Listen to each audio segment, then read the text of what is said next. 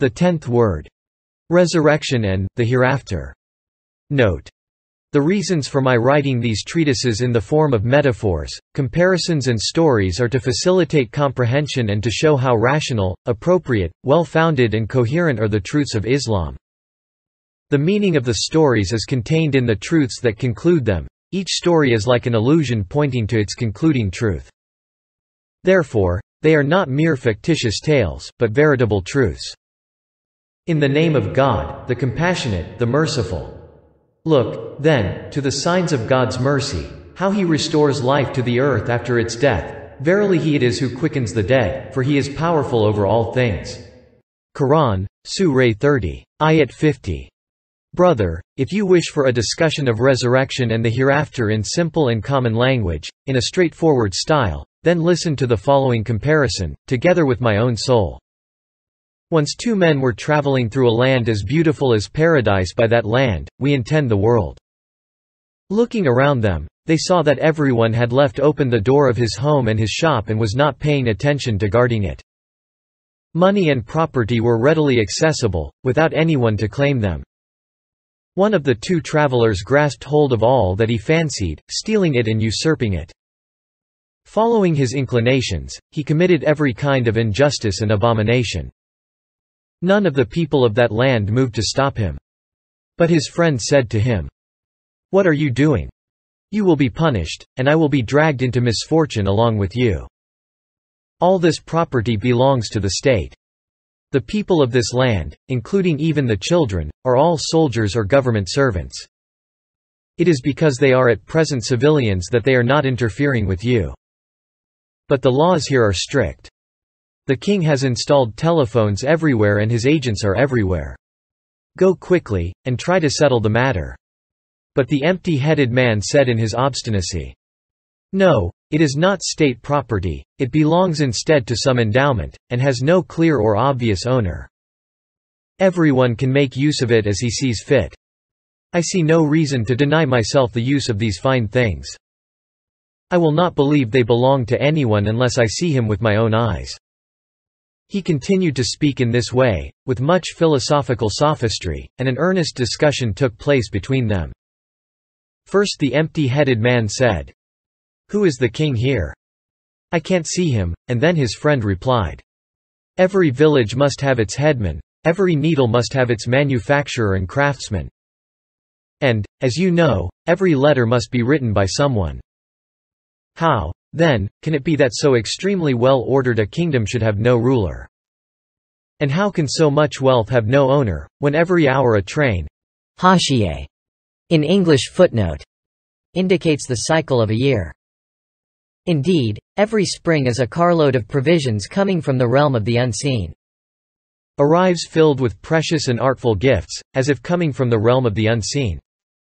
And all the announcements and proclamations, all the seals and stamps, found on all those goods, all the coins and the flags waving in every corner of the kingdom, can they be without an owner?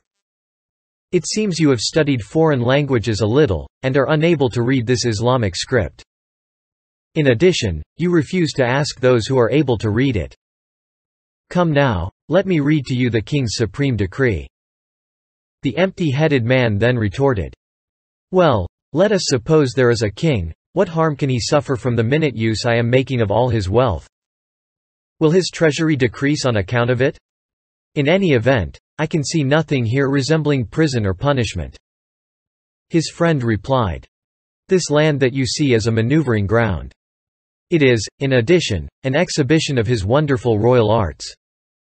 Then again it may be regarded as a temporary hospice, one devoid of foundations. Do you not see that every day one caravan arrives as another departs and vanishes? It is being constantly emptied and filled.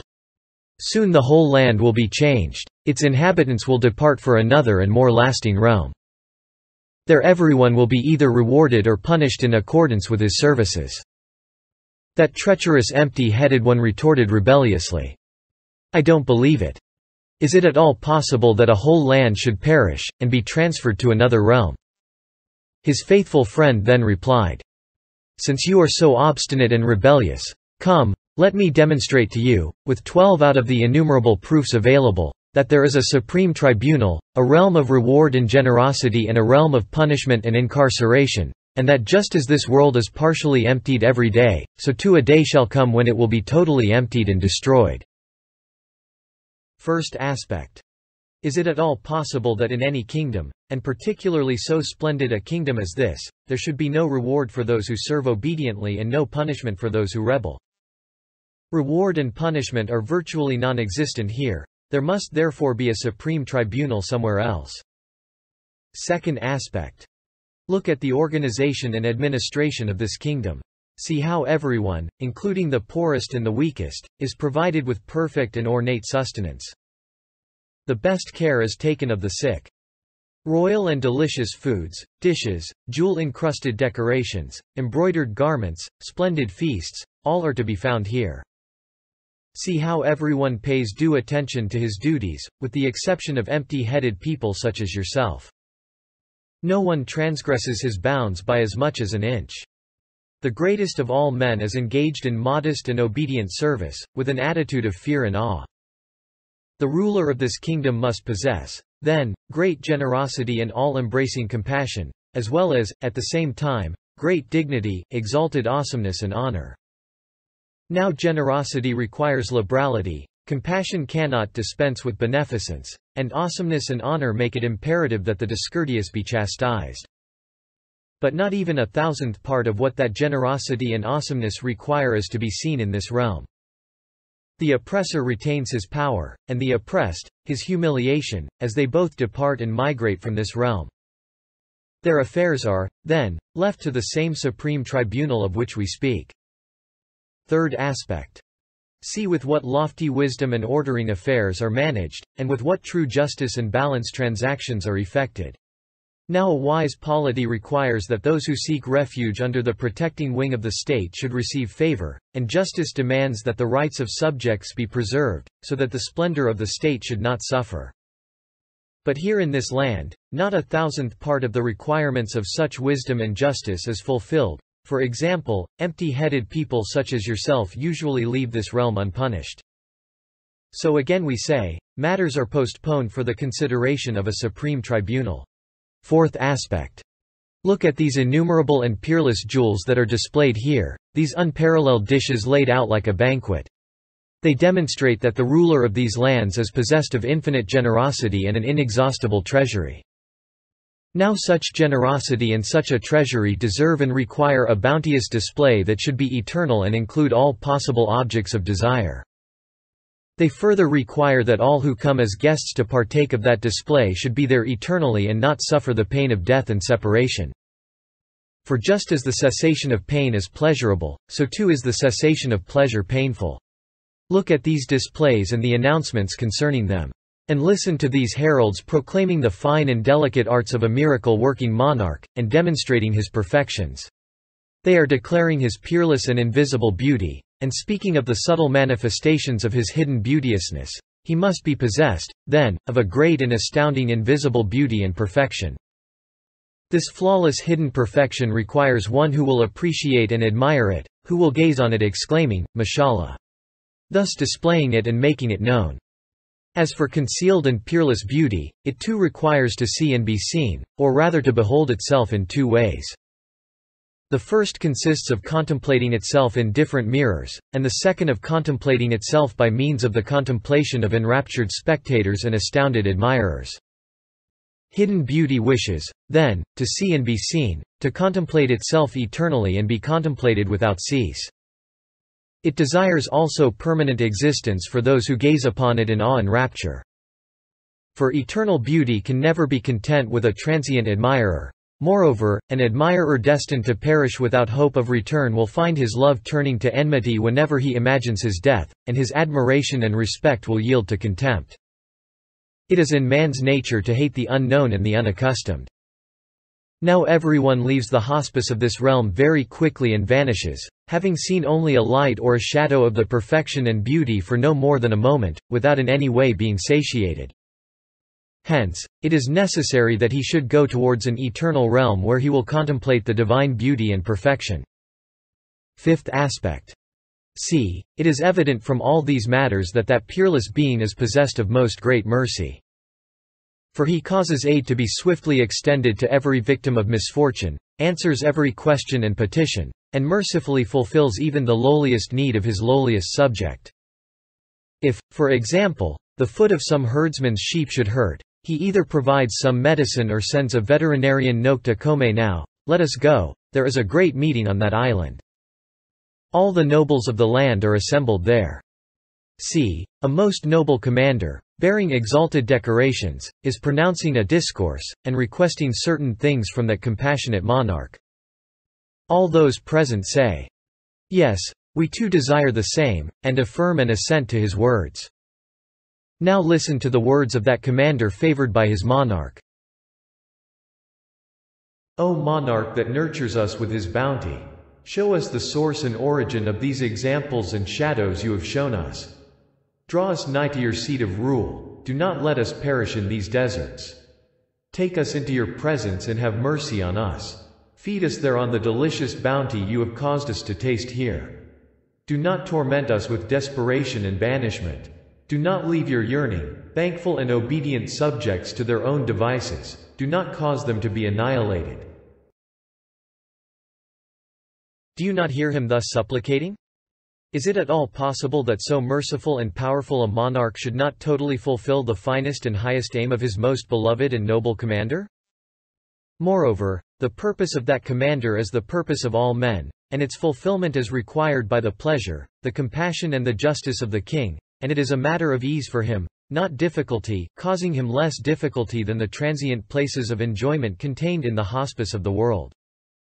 Having spent so much effort on these places of witnessing that will last only five or six days, and on the foundation of this kingdom, in order to demonstrate instances of his power, he will, without doubt, display at his seat of rule true treasures, perfections and skills in such a manner, and open before us such spectacles, that our intellects will be astonished. Those sent to this field of trial will not, then, be left to their own devices, palaces of bliss or dungeons await them. Sixth aspect Come now, look. All these imposing railways, planes, machines, warehouses, exhibitions show that behind the veil an imposing monarch exists and governs. Hashiye. In English footnote. When a vast army in the present age receives the order, take up your weapons and fix your bayonets, in accordance with the rules of war while on maneuver, it comes to resemble a forest of upright oaks. Similarly, when the soldiers of a garrison are commanded on festive days to don their parade uniforms and pin on their medals, it will resemble from one end to the other a colorful and ornate garden, where all the flowers have blossomed. Conversely, when on the parade ground of the world, the various and infinite species of the soldiery of the pre-eternal monarch, angels, jinn, men, animals and even unfeeling plants, receive the order of, be. And it is in the struggle for life's preservation and the command, Take up your weapons and equipment, and prepare to defend yourselves. When they fix the minute bayonets that are the spiked trees and plants found throughout the world, then they resemble a magnificent army advancing with bayonets fixed. Similarly, each day and each week of the spring is like a festival for each class of the vegetable kingdom, and each class presents itself to the witnessing gaze of the pre-eternal monarch with the jeweled decorations he has given them, as if it were on parade in order to display the fine gifts he has bestowed on them. It is as if all the plants and trees were heeding a dominical command, don the bejeweled garments produced by God's artistry, put on the decorations made by his creative power, flowers and fruit. The face of the earth then comes to represent a parade ground on a splendid festive day, a magnificent parade brilliant with the uniforms and jeweled decorations of the soldiers. Such wise and well-ordered arrangement and ornament demonstrates of a certainty, to all who are not blind, that they derive from the command of a monarch infinite in power and unlimited in wisdom. Such a monarch requires subjects worthy of himself. But now you see all his subjects gathered in a hospice for wayfarers, a hospice that is filled and emptied each day. It can also be said that his subjects are now gathered in a testing ground for the sake of maneuvers, and this ground also changes each hour. Again, we may say that all his subjects stay in an exhibition hall for a few minutes to behold specimens of the monarch's beneficence, valuable products of his miraculous art. But the exhibition itself changes each moment. Now this situation and circumstance conclusively shows that beyond the hospice, the testing ground, the exhibition, there are permanent palaces, lasting abodes, and gardens and treasuries full of the pure and elevated originals of the samples and shapes we see in this world. It is for the sake of these that we exert ourselves here. Here we labor, and there we receive our reward. A form and degree of felicity suited to everyone's capacity awaits us there. Seventh aspect. Come, let us walk a little, and see what is to be found among these civilized people. See, in every place, at every corner, photographers are sitting and taking pictures. Look, everywhere there are scribes sitting and writing things down. Everything is being recorded. They are registering the least significant of deeds, the most commonplace of events. Now look up at the tall mountain, there you see a supreme photographer installed, devoted to the service of the king. Hashiye, in English footnote. Some of the truths indicated in this parable have been set forth in the seventh truth. However, let us point out here that the figure of the supreme photographer devoted to the service of the king is an indication of the preserved tablet. The reality and existence of the preserved tablet has been proved in the 26th word as follows. A little portfolio suggests the existence of a great ledger. A little document points to the existence of a great register, and little drops point to the existence of a great water tank. So too the retentive faculties of men, the fruits of trees, the seeds and kernels of fruit, being each like a little portfolio, a preserved tablet in miniature or a drop proceeding from the pen that inscribes the great preserved tablet, they indicate and prove the existence of a supreme retentive faculty, a great register, an exalted preserved tablet. Indeed, they demonstrate this visibly to the perceptive intellect. He is taking pictures of all that happens in the area. The king must, then, have issued this order, record all the transactions made and deeds performed in the kingdom. In other words, that exalted personage is having all events registered and photographically recorded. The precise record he is keeping must without doubt be for the sake of one day calling his subjects to account. Now is it at all possible that an all-wise and all-preserving being, who does not neglect the most banal doings of the lowest of his subjects, should not record the most significant deeds of the greatest among his subjects, should not call them to account, should not reward and punish them.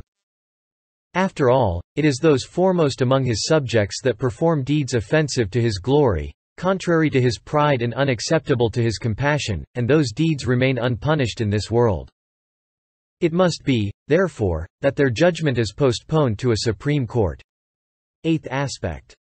Come, let me read to you the decrees issued by that monarch. See, he repeatedly makes the following promises and dire threats. I will take you from your present abode and bring you to the seat of my rule. There I shall bestow happiness on the obedient and imprison the disobedient. Destroying that temporary abode, I shall found a different realm containing eternal palaces and dungeons. He can easily fulfill the promises that he makes, of such importance for his subjects. It is, moreover, incompatible with his pride and his power that he should break his promise. So look, O confused one. You assent to the claims of your mendacious imagination, your distraught intellect, your deceptive soul, but deny the words of a being who cannot be compelled in any fashion to break his promise, whose high stature does not admit any such faithlessness, and to whose truthfulness all visible deeds bear witness. Certainly you deserve a great punishment. You resemble a traveler who closes his eyes to the light of the sun and looks instead upon his own imagination. His fancy wishes to illuminate his awesomely dark path with the light of his brain, although it is no more than a glow worm. Once that monarch makes a promise, he will by all means fulfill it. Its fulfillment is most easy for him, and moreover most necessary for us in all things, as well as for him too in his kingdom. There is therefore, a supreme court, and a lofty felicity. Ninth aspect. Come now. Look at the heads of these offices and groups. Hashiye. In English footnote. The meanings indicated in this aspect can be found in the Eighth Truth. For example, by heads of offices we mean the prophets and the saints. As for the telephone, it is a link in relation with God that goes forth from the heart and is the mirror of revelation and the receptacle of inspiration. The heart is like the earpiece of that telephone. Each has a private telephone to speak personally with the king. Sometimes too they go directly to his presence. See what they say and unanimously report, that the monarch has prepared a most magnificent and awesome place for reward and punishment. His promises are emphatic and his threats are most stern. His pride and dignity are such that he would in no way stoop to the abjectness inherent in the breaking of a promise. The bearers of this report, who are so numerous as to be universally accepted, further report with the strong unanimity of consensus that, the seat and headquarters of the lofty monarchy, some of whose traces are visible here, is in another realm far distant from here. The buildings existing in this testing ground are but temporary, and will later be exchanged for eternal palaces. These places will change. For this magnificent and unfading monarchy, the splendor of which is apparent from its works, can in no way be founded or based on so transient, impermanent, unstable, insignificant, changing, defective and imperfect matters. It is based rather on matters worthy of it, eternal, stable, permanent and glorious. There is, then, another realm, and of a certainty we shall go toward it. Tenth aspect. Come. Today is the vernal equinox. Hashiye. In English footnote. You will find what this aspect alludes to in the ninth truth. The vernal equinox is equivalent to the beginning of spring. As for the green plain covered with flowers, this is the face of the earth in springtime. The changing scenes and spectacles are an allusion to the different groups of vernal beings, the classes of summer creation, and the sustenance for men and animals, that the all-powerful and glorious Maker, the all-wise and beauteous Creator, from the beginning of spring to the end of summer, brings forth in orderly succession, renews with the utmost compassion, and dispatches uninterruptedly. Certain changes will take place, and wondrous things will occur. On this fine spring day, let us go for a walk on the green plain adorned with beautiful flowers. See, other people are also coming toward it. There must be some magic at work, for buildings that were mere ruins have suddenly sprung up again here, and this once empty plain has become like a populous city. See, every hour it shows a different scene, just like a cinema screen, and takes on a different shape. But notice, too, that among these complex, swiftly changing and multifarious scenes perfect order exists, so that all things are put in their proper places. The imaginary scenes presented to us on the cinema screen cannot be as well ordered as this, and millions of skilled magicians would be incapable of this artistry. This monarch whom we cannot see must, then, have performed even greater miracles. O foolish one! You ask. How can this vast kingdom be destroyed and re-established somewhere else? You see that every hour numerous changes and revolutions occur, just like that transfer from one realm to another that your mind will not accept. From this gathering in and scattering forth it can be deduced that a certain purpose is concealed within these visible and swift joinings and separations, these compoundings and dissolvings. Ten years of effort would not be devoted to a joining together destined to last no longer than an hour. So these circumstances we witness cannot be ends in themselves. They are a kind of parable of something beyond themselves, an imitation of it.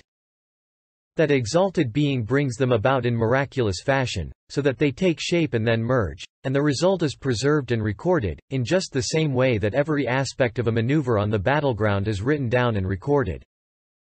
This implies that proceedings at some great concourse and meeting will be based on what happens here. Further, the results of all that occurs here will be permanently displayed at some supreme exposition. All the transient and fluctuating phenomena we see here will yield the fruit of eternal and immutable form. All the variations we observe in this world are then, for the sake of a supreme happiness, a lofty tribunal, for the sake of exalted aims as yet unknown to us. Eleventh aspect. Come, O obstinate friend. Let us embark on a plane or a train traveling east or west, that is, to the past or the future. Let us see what miraculous works that being has accomplished in other places. Look, there are marvels on every hand like the dwellings, open spaces and exhibitions we see. But they all differ with respect to art and to form. Note well, however, what order betokening manifest wisdom, what indications of evident compassion, what signs of lofty justice, and what fruits of comprehensive mercy, are to be seen in these transient dwellings, these impermanent open spaces, these fleeting exhibitions. Anyone not totally devoid of insight will understand a certainty that no wisdom can be imagined more perfect than his, no providence more beauteous than his, no compassion more comprehensive than his, and no justice more glorious than his. If, for the sake of argument, as you imagine, no permanent abodes, lofty places, fixed stations, lasting residences, or resident and contented population existed in the sphere of his kingdom, and if the truths of his wisdom, compassion, mercy and justice had no realm in which to manifest themselves fully for this impermanent kingdom is no place for their full manifestation, then we would be obliged to deny the wisdom we see, to deny the compassion we observe, to deny the mercy that is in front of our eyes, and to deny the justice the signs of which are evident. This would be as idiotic as denying the sun, the light of which we clearly see at midday. We would also have to regard the one from whom proceed all these wise measures we see, all these generous acts, all these merciful gifts, as a vile gambler or treacherous tyrant God forbid. This would be to turn truth on its head. And turning a truth into its opposite is impossible, according to the unanimous testimony of all rational beings, excepting only the idiot sophists who deny everything. There is, then, a realm apart from the present one. In it, there is a supreme tribunal, a lofty place of justice, an exalted place of reward, where all this compassion, wisdom, mercy and justice will be made fully manifest. Twelfth aspect. Come, let us return now.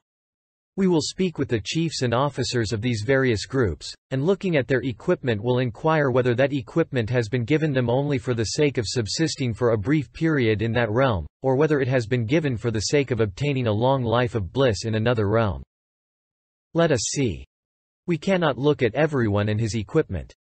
But by way of example, let us look at the identity card and register of this officer. On his card, his rank, salary, duty, supplies and instructions are recorded. C. This rank has not been awarded him for just a few days, it may be given for a prolonged period. It says on his card. You will receive so much salary on such and such a day from the treasury. But the date in question will not arrive for a long time to come, after this realm has been vacated. Similarly, the duty mentioned on his card has not been given for this temporary realm, but rather for the sake of earning a permanent felicity in the proximity of the king. Then, too, the supplies awarded him cannot be merely for the sake of subsisting in this hospice of a few days' duration. They can only be for the sake of a long and happy life. The instructions make it quite clear that he is destined for a different place, that he is working for another realm. Now look at these registers. They contain instructions for the use and disposition of weapons and equipment.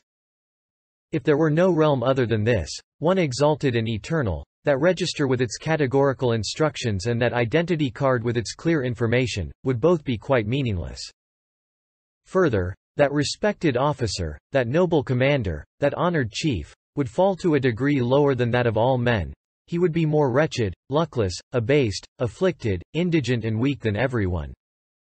Apply the same principle to everything. Whatever you look upon bears witness that after this transient world another and eternal world exists. O friend! This temporary world is like a field. It is a place of instruction, a market. Without doubt a supreme tribunal and ultimate happiness will succeed it. If you deny this, you will be obliged also to deny the identity cards of all the officers, their equipment and their orders. In fact, you will have to deny to all the order existing in the country, the existence of a government in it and all the measures that the government takes. Then you will no longer deserve the name of man or the appellation of conscious. You will be more of a fool than the sophists. Beware, do not imagine that the proofs of the transfer of creation from one realm to another are restricted to these twelve. There are indications and proofs beyond counting and enumeration, all showing that this impermanent, changing kingdom will be transformed into a permanent and immutable realm. There are also innumerable signs and evidences that men will be taken from this temporary hospice and sent to the eternal seat of rule of all creation. I will show one proof in particular that is stronger, than all the twelve aspects taken together. Come now. Look, in the midst of the great assembly visible in the distance the same noble commander whom we previously saw on the island, adorned with numerous decorations, is making an announcement. Let us go and listen. See, that luminous and most noble commander is conveying a supreme edict, beautifully inscribed. He says, Prepare yourselves, you will go to another and permanent realm, a realm such that this one will appear as a dungeon by comparison.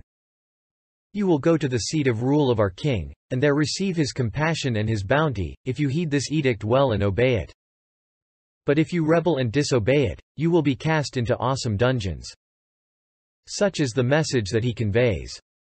If you look at the decree, you will see that it bears such a miraculous seal that it cannot in any way be imitated. Everyone apart from idiots such as yourself knows of a certainty that the decree is from the king. Moreover, the noble commander bears such bright decorations that everyone except those blind like yourself understands full well that he is the voracious conveyor of the king's orders. Is it at all possible that the teaching of transfer from one realm to another, challengingly conveyed by that noble commander in the supreme edict he has received, should at all be open to objection? No, it is not possible, unless we deny all that we have seen. Now, O friend, it is your turn to speak. Say what you have to say. What should I say? What can be said to contradict all of this? Who can speak against the sun at midday? I say only. Praise be to God. A hundred thousand thanks that I have been saved from the dominance of fancy and vain imagination, and delivered from an eternal dungeon and prison. I have come to believe that there is an abode of felicity in the proximity of the monarch, separate from this confused and impermanent hospice. Our comparison indicating the truth of resurrection and the hereafter is now complete. Now with God's grace, we will pass on to the most exalted truth.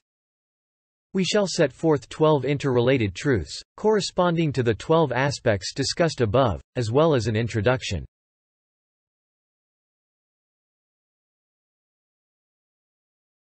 Introduction by means of a few indications, we refer here to several matters explained elsewhere, that is, in the 22nd, 19th and 26th words.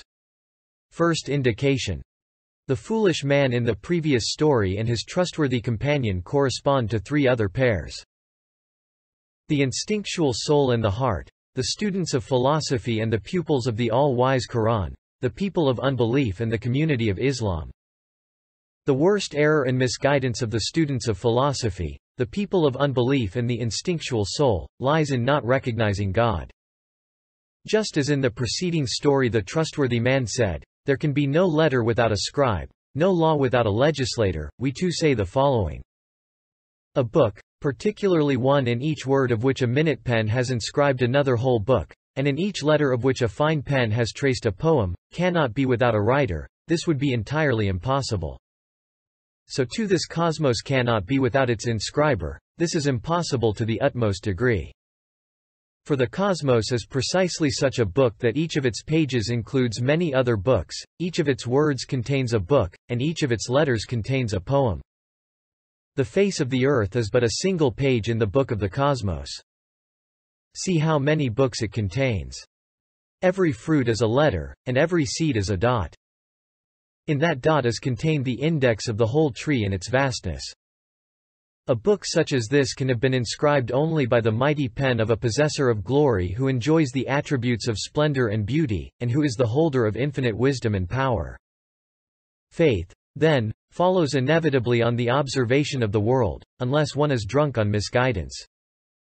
Similarly, a house cannot arise without a builder, particularly a house adorned with miraculous works of art, wondrous designs, and amazing ornaments.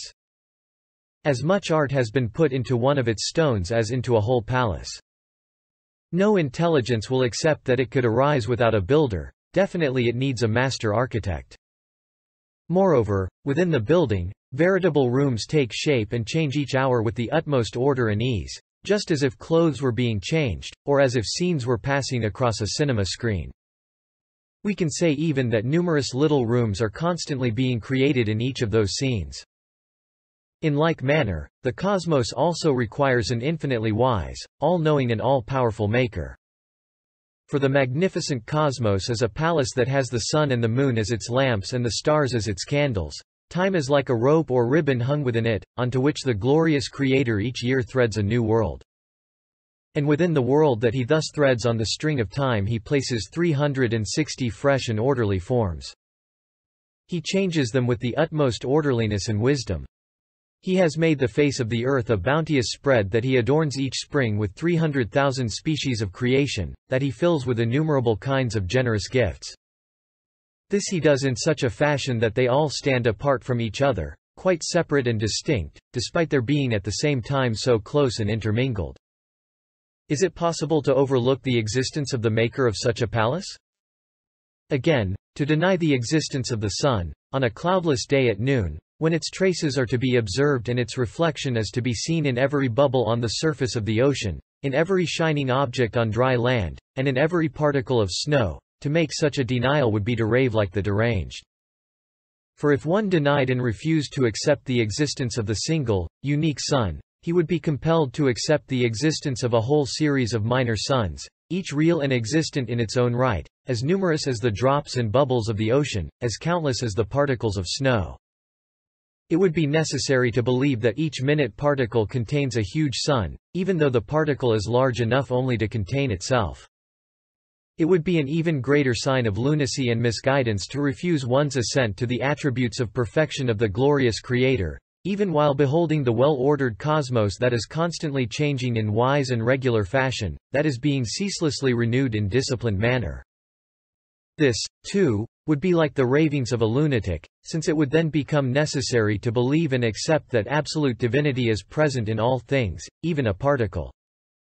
For every particle of air is somehow able to enter and work its effects upon every flower, fruit and leaf, and unless the particle be entrusted with this task by a creator, it must know of itself the structure and form of all the objects it penetrates and affects. In other words, it must possess all-encompassing power and knowledge. Every particle of soil is potentially capable of giving rise to all the different seeds that exist. If it is not acting under command, it must contain within itself equipment and instruments corresponding to all the various trees and plants in the world.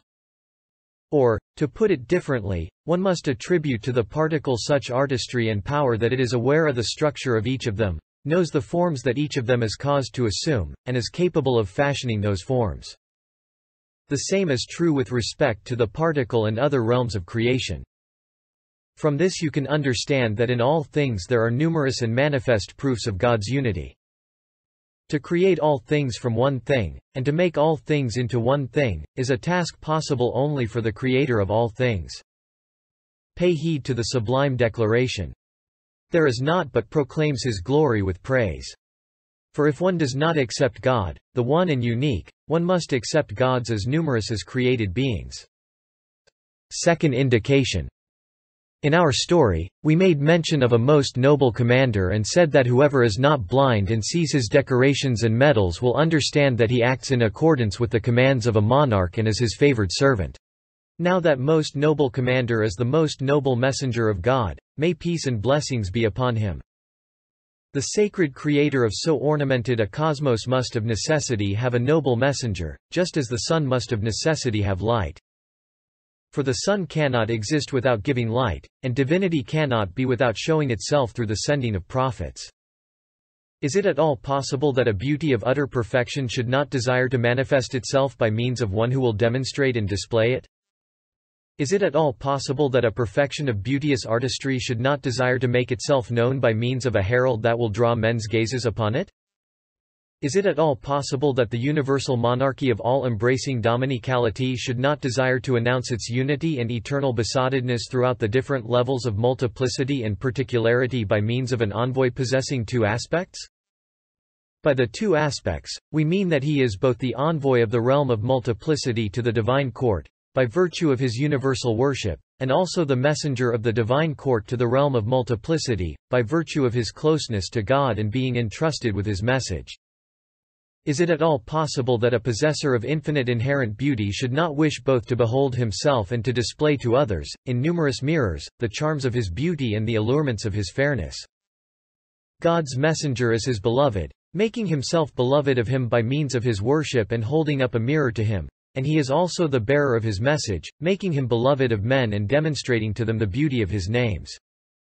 Is it at all possible that the owner of treasuries full of wondrous miracles, rare and valuable items, should not wish and desire to display them to men's gaze by means of an expert jeweler, an eloquent describer, thereby revealing his hidden perfections? Is it at all possible that the one who manifests the perfection of all his names in the cosmos by means of artful adornment for men to look upon, so that the cosmos comes to resemble a palace decorated with all kinds of wondrous and subtle art, should not also designate a teacher and a guide to the wonders of his creation? Is it at all possible that the Lord of the cosmos should not solve, by means of a messenger, the complex talisman of the aim and purpose of all the changes that take place in the cosmos, and the riddle contained in the three difficult questions posed by all beings. What is our origin? What is our destination? What is our purpose? Is it at all possible that the glorious Maker who makes himself known to sentient beings by means of his fair creation, and who makes himself loved by means of his precious bounties, should not also communicate to sentient beings, by means of a messenger, what his pleasure desires of them in exchange. Is it at all possible that God should create mankind in a form predisposing it to suffer the consciousness of multiplicity but also containing the ability to engage in universal worship, without at the same time wishing to turn it away from multiplicity to unity, by means of a teacher and guide? There are numerous other functions of prophethood, each of which is a decisive proof that divinity necessarily implies messengership. Did anyone ever appear in the world more worthy and more in possession of the above-mentioned qualities and functions than Muhammad, the Arabian prophet, may peace and blessings be upon him? Has time ever shown us one more fitting and suited to the rank of messengerhood and the task of conveying God's message? No, by no means. He is the master of all messengers, the foremost of all prophets, the leader of all pure ones, the closest to God of all those who have drawn nigh unto him, the most perfect of all creatures, the monarch of all guides to righteousness. Quite apart from the countless indications of his prophethood deriving from more than a thousand miracles, such as the splitting of the moon and the flowing of water from his fingers, that all scholars unanimously confirm, the supreme miracle of the glorious Quran, an ocean of truth and a book miraculous in forty different respects, is itself enough to demonstrate his prophethood as clearly as the sun. Since we discuss the forty different aspects of the Quran's miraculousness in other treatises, particularly the 25th word, we curtail our discussion of the matter here. Third indication. Let it not be thought that, petty man is too insignificant for this vast world to be brought to an end, and another realm to be unfolded simply for the sake of his being brought to account. For apparently petty man bears great importance as the master of all creatures, by virtue of the comprehensiveness of his disposition, as the herald of God's monarchy, and the manifesta of universal worship.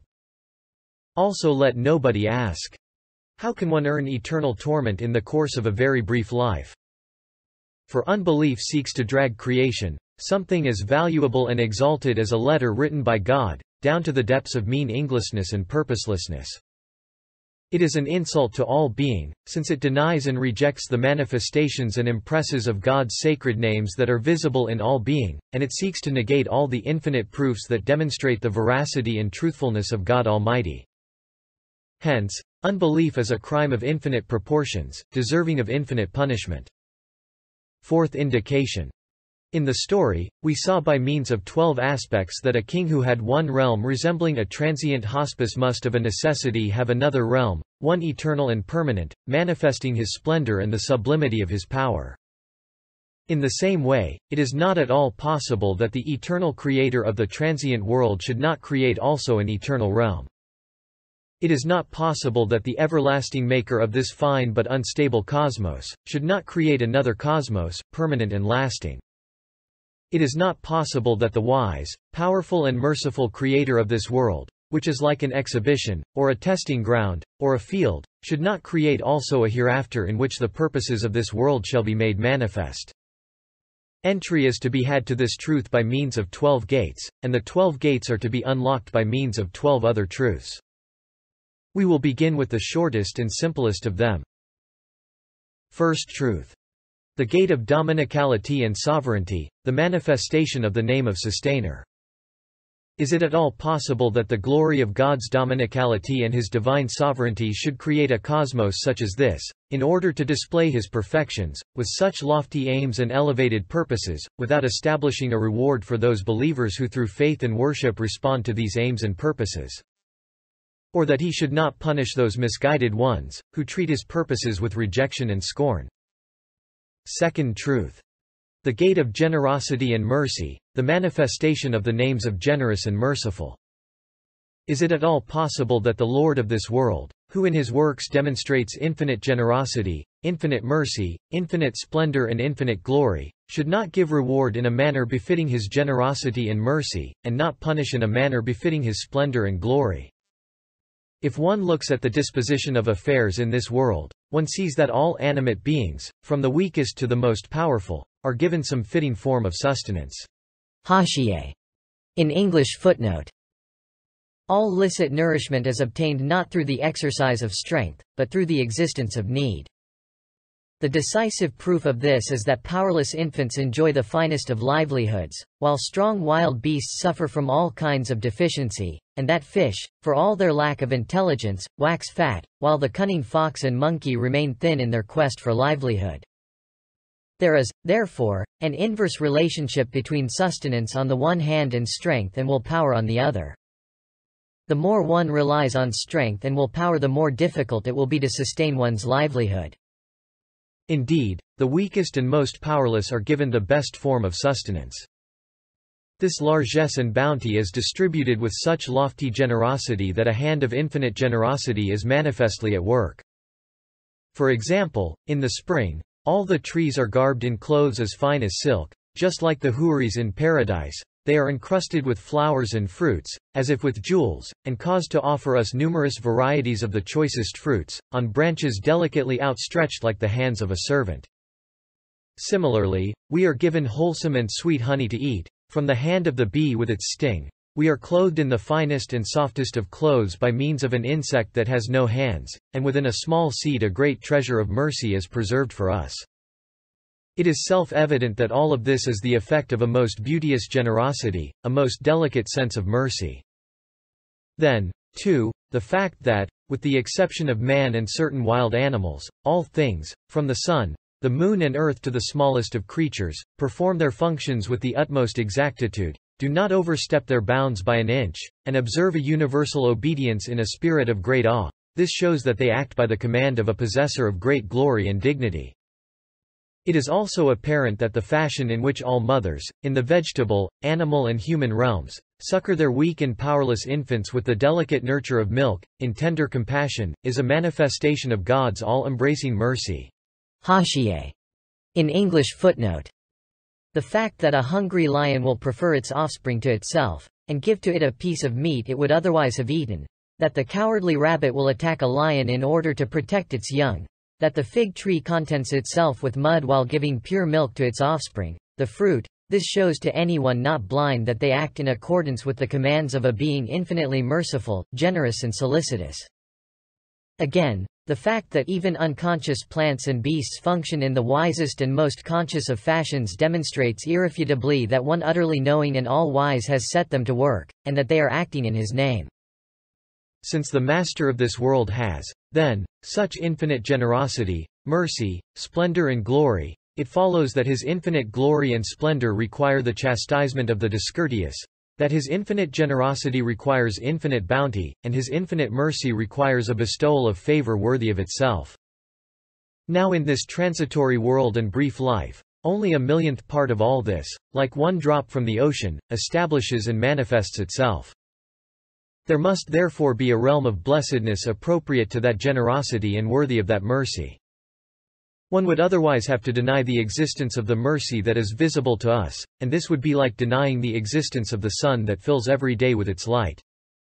For irrevocable death would transform compassion into disaster, love into affliction, blessing into vengeance, intellect into a tool of misery, and pleasure into pain, so that the very essence of God's mercy would vanish.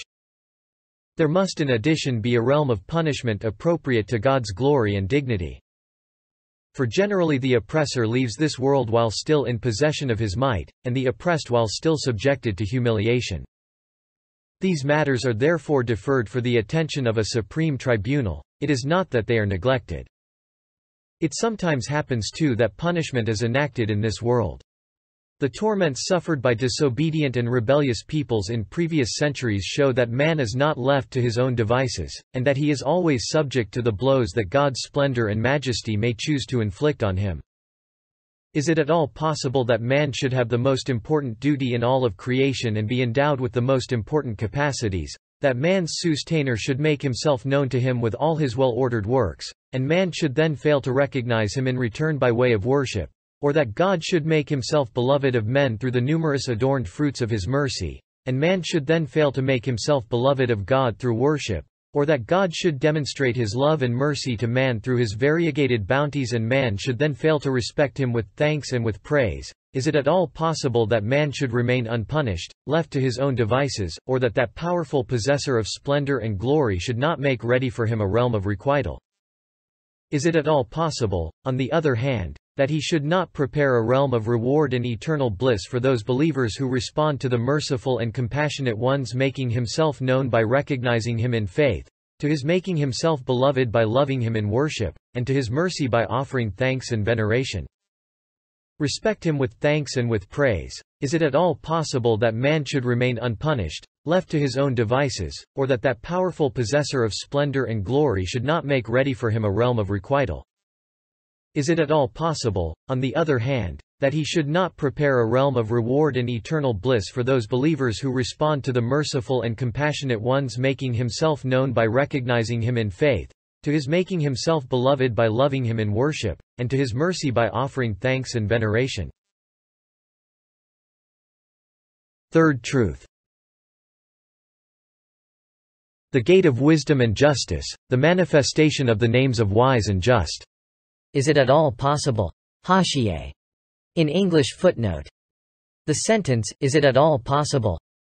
is indeed repeated many times, because it expresses a most significant mystery. Misguidance and lack of belief generally spring from the habit of imagining things to be impossible, far removed from the realm of reason, and therefore denying them. Now in this discussion of resurrection it has been decisively demonstrated that true impossibility, absurdity and irrationality pertain to the path of misbelief and the road of misguidance, whereas true possibility, facility and rationality are characteristics of the path of faith and highway of Islam. In short, the philosophers tend to unbelief on account of their regarding things as impossible, whereas the tenth word discussion of resurrection, by means of the repeated sentence, is it at all possible? Shows where impossibility lies, and thus deals them a blow in the mouth. Is it at all possible that the Lord of glory, who demonstrates his dominical sovereignty in the wisdom and order, the justice and equilibrium that pervade all things, from the atom to the sun, should not bestow favor on those believers who seek refuge beneath the protective wing of his dominicality, who believe in his wisdom and justice, and whose acts are for the purpose of worshipping him. Again, is it possible that he should not chastise those rude and discourteous men who disbelieve in his wisdom and justice, and rebel against him in insolence? Now not even a thousandth part of that wisdom and justice is exercised with respect to man, in this transient world, it is rather deferred. Most of the people of misguidance leave this world unpunished, and most of the people of guidance leave it unrewarded.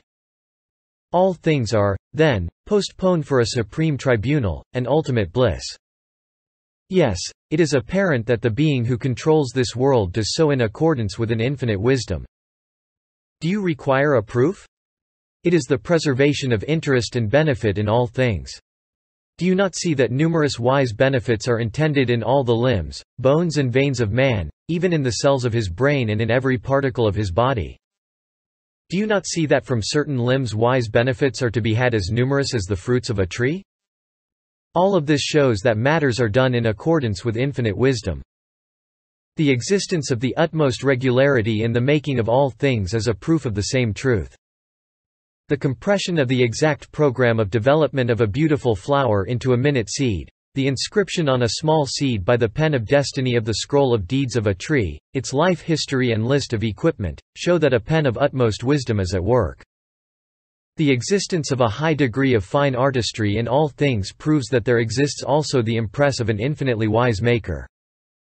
Further, The inclusion within the minute body of man of an index of all being, of the keys to all the treasuries of mercy, and of the mirrors of all the divine names, demonstrates the existence of wisdom within that infinitely fine artistry.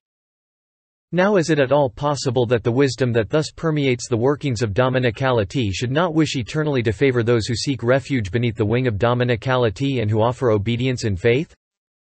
Do you wish for a proof that all things are done with justice and balance?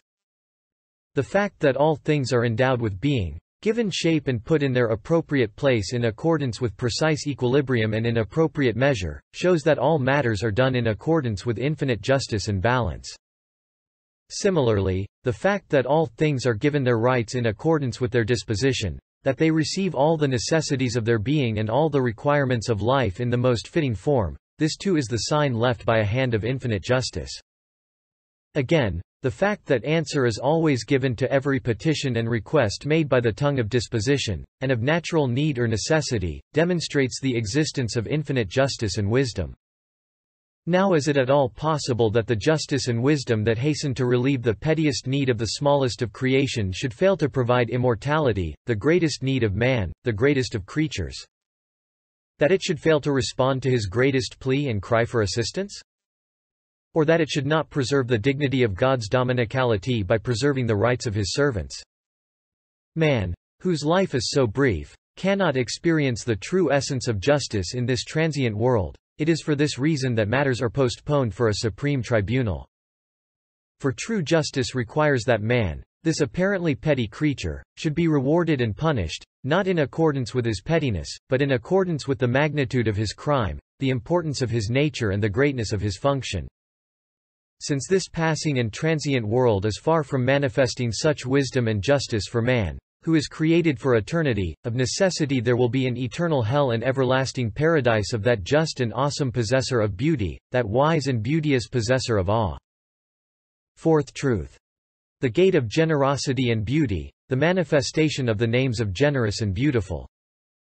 Is it at all possible that infinite generosity and liberality, inexhaustible riches, unending treasures, peerless and eternal beauty, flawless and everlasting perfection, should not require the existence of grateful supplicants, yearning spectators and astounded onlookers, all destined to stay an eternity in an abode of bliss, a place of repose.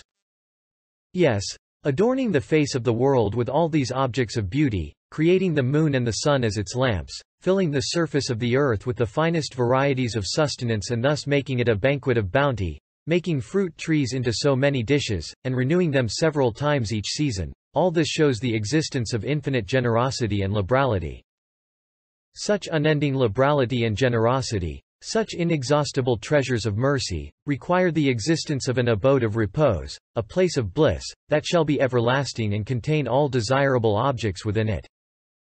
They also require that those who enjoy such bliss should remain in that abode of repose eternally, without suffering the pain of cessation and separation. For just as the cessation of pain is a form of pleasure, so too the cessation of pleasure is a form of pain, one that such infinite generosity is unwilling to countenance.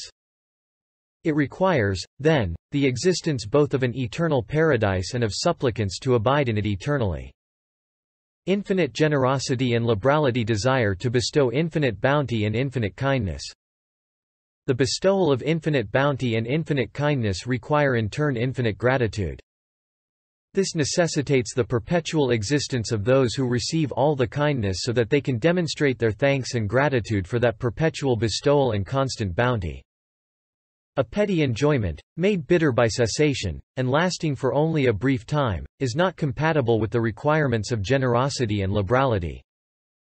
Look too at the different regions of the world, each like an exhibition where God's crafts are displayed. Pay attention to the dominical proclamations in the hands of all the plants and animals on the face of the earth. Hashiye. In English footnote. The existence of a brightly designed and brilliantly adorned flower, a most artfully conceived and bejeweled fruit on a twig as thin as a wire, affixed to a dry, bone-like tree, this is without doubt a proclamation to all animate beings of the fine arts produced by a most skilled, wise and miraculous maker. This holds true not only of the vegetable kingdom, but also of the animal realm. And listen to the prophets and the saints, the heralds of the beauties of Dominicality. They unanimously display the flawless perfections of the glorious Maker by demonstrating his miraculous arts, and thus invite the gazes of men. The Maker of this world has, then, most important, astounding and secret perfections. It is these he wishes to display by means of his miraculous arts. For secret, flawless perfection wishes to be manifested to those who will appreciate, admire and wonderingly gaze at it. Eternal perfection requires eternal manifestation. Such eternal manifestation in turn requires the perpetual existence of those who are to appreciate and admire it. The value of perfection will always sink in the view of its admirer if he is devoid of perpetual existence. Hashiye. In English footnote. There is a proverbial occurrence pertaining to this point. A celebrated beauty once expelled from her presence a common man, who had become infatuated with her. In order to console himself, he said, how ugly she is. Thus denying her beauty. Once a bear stood beneath a vine trellis, and wished to eat the grapes. But he was unable to reach out for the grapes, or to climb up the trellis. So he said to himself, by way of consolation, the grapes must be sour, and growling went on his way. Again, the beauteous, artistic, brilliant and adorned creatures that cover the face of the globe, bear witness to the fairness of a peerless, transcendent beauty, and indicate the subtle charms of an unparalleled, hidden pulchritude, just as sunlight bears witness to the sun. Hashiye. In English footnote. Although all beings that act as mirrors for God's beauty constantly vanish and disappear, those that succeed them display and manifest in their forms and features the same beauty and fairness. This shows that the beauty in question does not belong to them. The visible instances of beauty are rather the signs and indications of a transcendent and sacred beauty. Each manifestation of that sacred, transcendent beauty, indicates the existence of countless hidden treasures in each of God's names. Now so exalted, peerless and hidden a beauty, just as it desires to view its own fairness in a mirror and to behold the degrees and measures of its beauty in an animate reflection, desires also to become manifest, in order to look on its own beauty through the eyes of others. That is, it wishes to look at its own beauty in two ways. Firstly, by beholding itself in mirrors of variegated color. Secondly, through the gaze of yearning witnesses to itself, of bewildered admirers of its beauty. In short, beauty and fairness desire to see and be seen. Both of these require the existence of yearning witnesses and bewildered admirers. And since beauty and fairness are eternal and everlasting, their witnesses and admirers must have perpetual life. An eternal beauty can never be satisfied with transient admirers. An admirer condemned to irreversible separation will find his love turning to enmity once he conceives of separation. His admiration will yield to ridicule, his respect to contempt. For just as obstinate man is an enemy to what is unknown to him, so too he is opposed to all that lies beyond his reach, and love that is not infinite will respond to a beauty that deserves unending admiration with implicit enmity, hatred and rejection. From this we understand the profound reason for the unbeliever's enmity to God. So endless generosity and liberality, peerless fairness and beauty, flawless perfection, all these require the existence of eternally grateful and longing supplicants and admirers. But we see in this hospice of the world that everyone quickly leaves and vanishes, having had only a taste of that generosity, enough to whet his appetite but not to satiate him, and having seen only a dim light coming from the perfection, or rather a faint shadow of its light, without in any way being fully satisfied. It follows, then, that men are going toward a place of eternal joy where all will be bestowed on them in full measure. In short, just as this world, with all its creatures, decisively demonstrates the existence of the glorious Maker, so too do his sacred attributes and names indicate, show and logically require, the existence of the hereafter.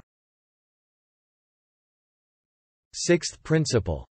You will also understand that man has not been left to graze at will, with a halter loosely tied around his neck, on the contrary, the forms of all his deeds are recorded and registered, and the results of all his acts are preserved for the day when he shall be called to account.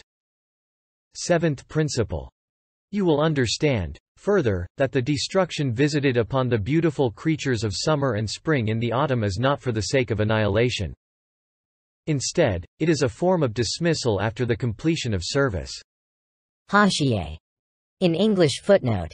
Yes, it is fitting that the fruits, flowers and leaves on the tips and branches of a tree, proceeding from the treasuries of sustenance provided by divine mercy, should depart when they become old and their duties are at an end. Otherwise the gate will remain closed to those that come after them, and a barrier will be erected against the expansion of God's mercy and the services to be performed by their brethren, in other words, other members of the species. Moreover, with the passing of youth, they will become wretched and distraught. Spring is like a fruit-bearing tree that in turn is an indication of the plain of resurrection. Similarly, the world of humanity in every age is like a tree inviting contemplation, and the world as a whole is like an amazing tree the fruits of which are dispatched to the market of the hereafter. It is also a form of emptying in order to clear a space for the new creation that is to come in the following spring, of preparing the ground and making ready for the beings that are to come and assume their functions. Finally, it is a form of divine warning to conscious beings to awake from the neglect that causes them to forget their duties, from the drunken torpor that causes them to forget their obligation of offering thanks. Eighth principle. You will understand this, too, that the eternal maker of this transient world has another, everlasting world, it is to this that he urges and impels his servants. Ninth principle. You will understand, also, that so compassionate a being will bestow upon his choice servants in that world such gifts as no eye has ever seen, no ear has ever heard, nor has their image crossed the heart of any man. In this we believe. Seventh truth. The gate of protection and preservation, the manifestation of the names of preserver and guardian. Is it at all possible that God's attribute of preserver, which protects all things with the utmost order and balance, things in the heavens and on the earth, on dry land and in the ocean, dry and wet, large and small, commonplace and exalted, and as it were, sifts their results by way of accounting, is it at all possible that this attribute should permit the deeds and acts of man, Man who has been given the lofty disposition of humanity, the rank of the supreme vicegerency, and the duty of bearing the supreme trust, not to be recorded, not to be passed through the sieve of accounting, not to be weighed in the balance of justice, not to be punished or rewarded fittingly, even though his acts and deeds closely pertain to God's universal dominicality. No, it is not in any way possible. Yes, the being that administers this cosmos preserves all things in order and balance. Order and balance are the manifestation of knowledge and wisdom, of will and power. For we see that the substance of every created object is fashioned in well-ordered and symmetrical fashion. Not only is each of the forms it changes throughout its life well ordered, but the totality of these forms is also marked by the same orderliness. We see, too, that the glorious preserver preserves many forms of all things the life of which comes to an end when they have performed their function and which depart from the manifest world, in the memories of men, that are like a kind of preserved tablet. Hashiye. In English footnote. See, the footnote to the seventh aspect above. Or in a form of archetypal mirror. He also writes and inscribes a brief history of their life in a seed, that is like the result and outcome of the whole. Thus he causes all things to be preserved in mirrors pertaining to both the outer and inner worlds. The memory of man, the fruit of the tree, the kernel of the fruit, the seed of the flower, all of these demonstrate the universality and comprehensiveness of the law of preservation. Do you not see that all the flowers and fruits of the vast spring, the records of their deeds in appropriate form, the laws of their formation, and the images of their forms, are all inscribed into the finite space of a minute seed and are there preserved? The following spring, their record of deeds is set forth, in a form of accounting appropriate to them, and another vast world of spring is brought forth, with the utmost order and wisdom. This demonstrates with what powerful comprehensiveness God's attribute of preserver exercises itself. Considering that the results of such transient, commonplace, impermanent and insignificant things are preserved, is it at all possible that men's deeds, that yield important fruit in the world of the unseen, the world of the hereafter, and the world of spirits, from the point of view of universal dominicality, is it at all possible that they should not be guarded and preserved, should not be recorded as a matter of importance? No, by no means. Yes, from this manifestation of God's attribute of preserver it can be deduced that the Master of all creation devotes great care to the orderliness of all things that come to pass in his realm. He pays great attention to the function of sovereignty, and lavishes extreme care on the dominicality of kingship. Thus he records, or causes to be recorded, the pettiest of happenings, the smallest of services, and preserves in numerous things the form of everything that happens in his realm. This attribute of preserver indicates that an important register of deeds will be subjected to a precise examination and weighing. The records of men's deeds will stand revealed. Now at all possible that man should be ennobled with the vicegerency and the trust, that, as a witness to the universality of dominicality, he should proclaim God's unity in the realm of multiplicity, and thus act as a controller and witness by having some share in the glorification of God and worship of most beings. Is it at all possible that he should do all of this and go to his grave and sleep peacefully without ever being awakened? Without ever being asked concerning his deeds, small and great? That he should not go to the plain of resurrection and be tried at the supreme tribunal? No, by no means.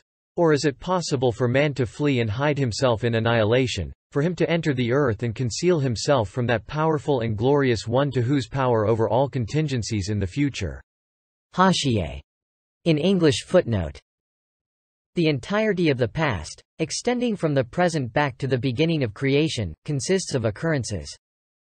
Every day, year and century that came into being is like a line, a page, a book, written by the pen of destiny, the hand of God's power has inscribed his miraculous signs there with the utmost wisdom and order.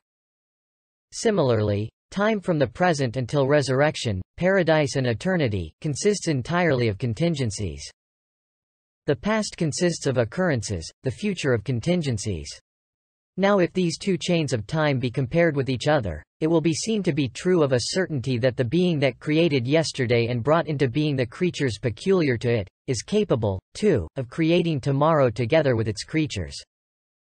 Again, there is no doubt that the beings and wonders of past time, that wondrous display, are the miraculous works of a powerful and glorious one. They bear decisive witness that that powerful one is capable of creating all of the future and its contingencies, and manifesting all of its wonders. The one who creates an apple must of a certainty be able to create all the apples in the world and to bring the vast spring into being.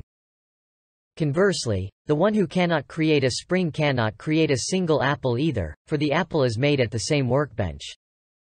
But the one who makes an apple can make the spring. Each apple is an example in miniature of a tree, even of a garden or a cosmos. The apple seed that carries within itself the life story of the huge tree is, from the point of view of artistry, such a miracle that the one who creates it thus is incapable of nothing.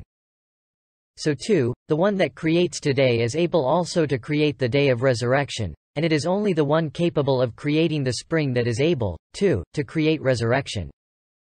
The one who affixes all the worlds of past time to the ribbon of time and displays them there in utmost wisdom and order, is without doubt capable of attaching other beings to the ribbon of the future and displaying them there. In several of the words, particularly the twenty-second word, we proved with utter certainty that the one who cannot create everything cannot create anything, and the one who can fashion one thing, can fashion everything.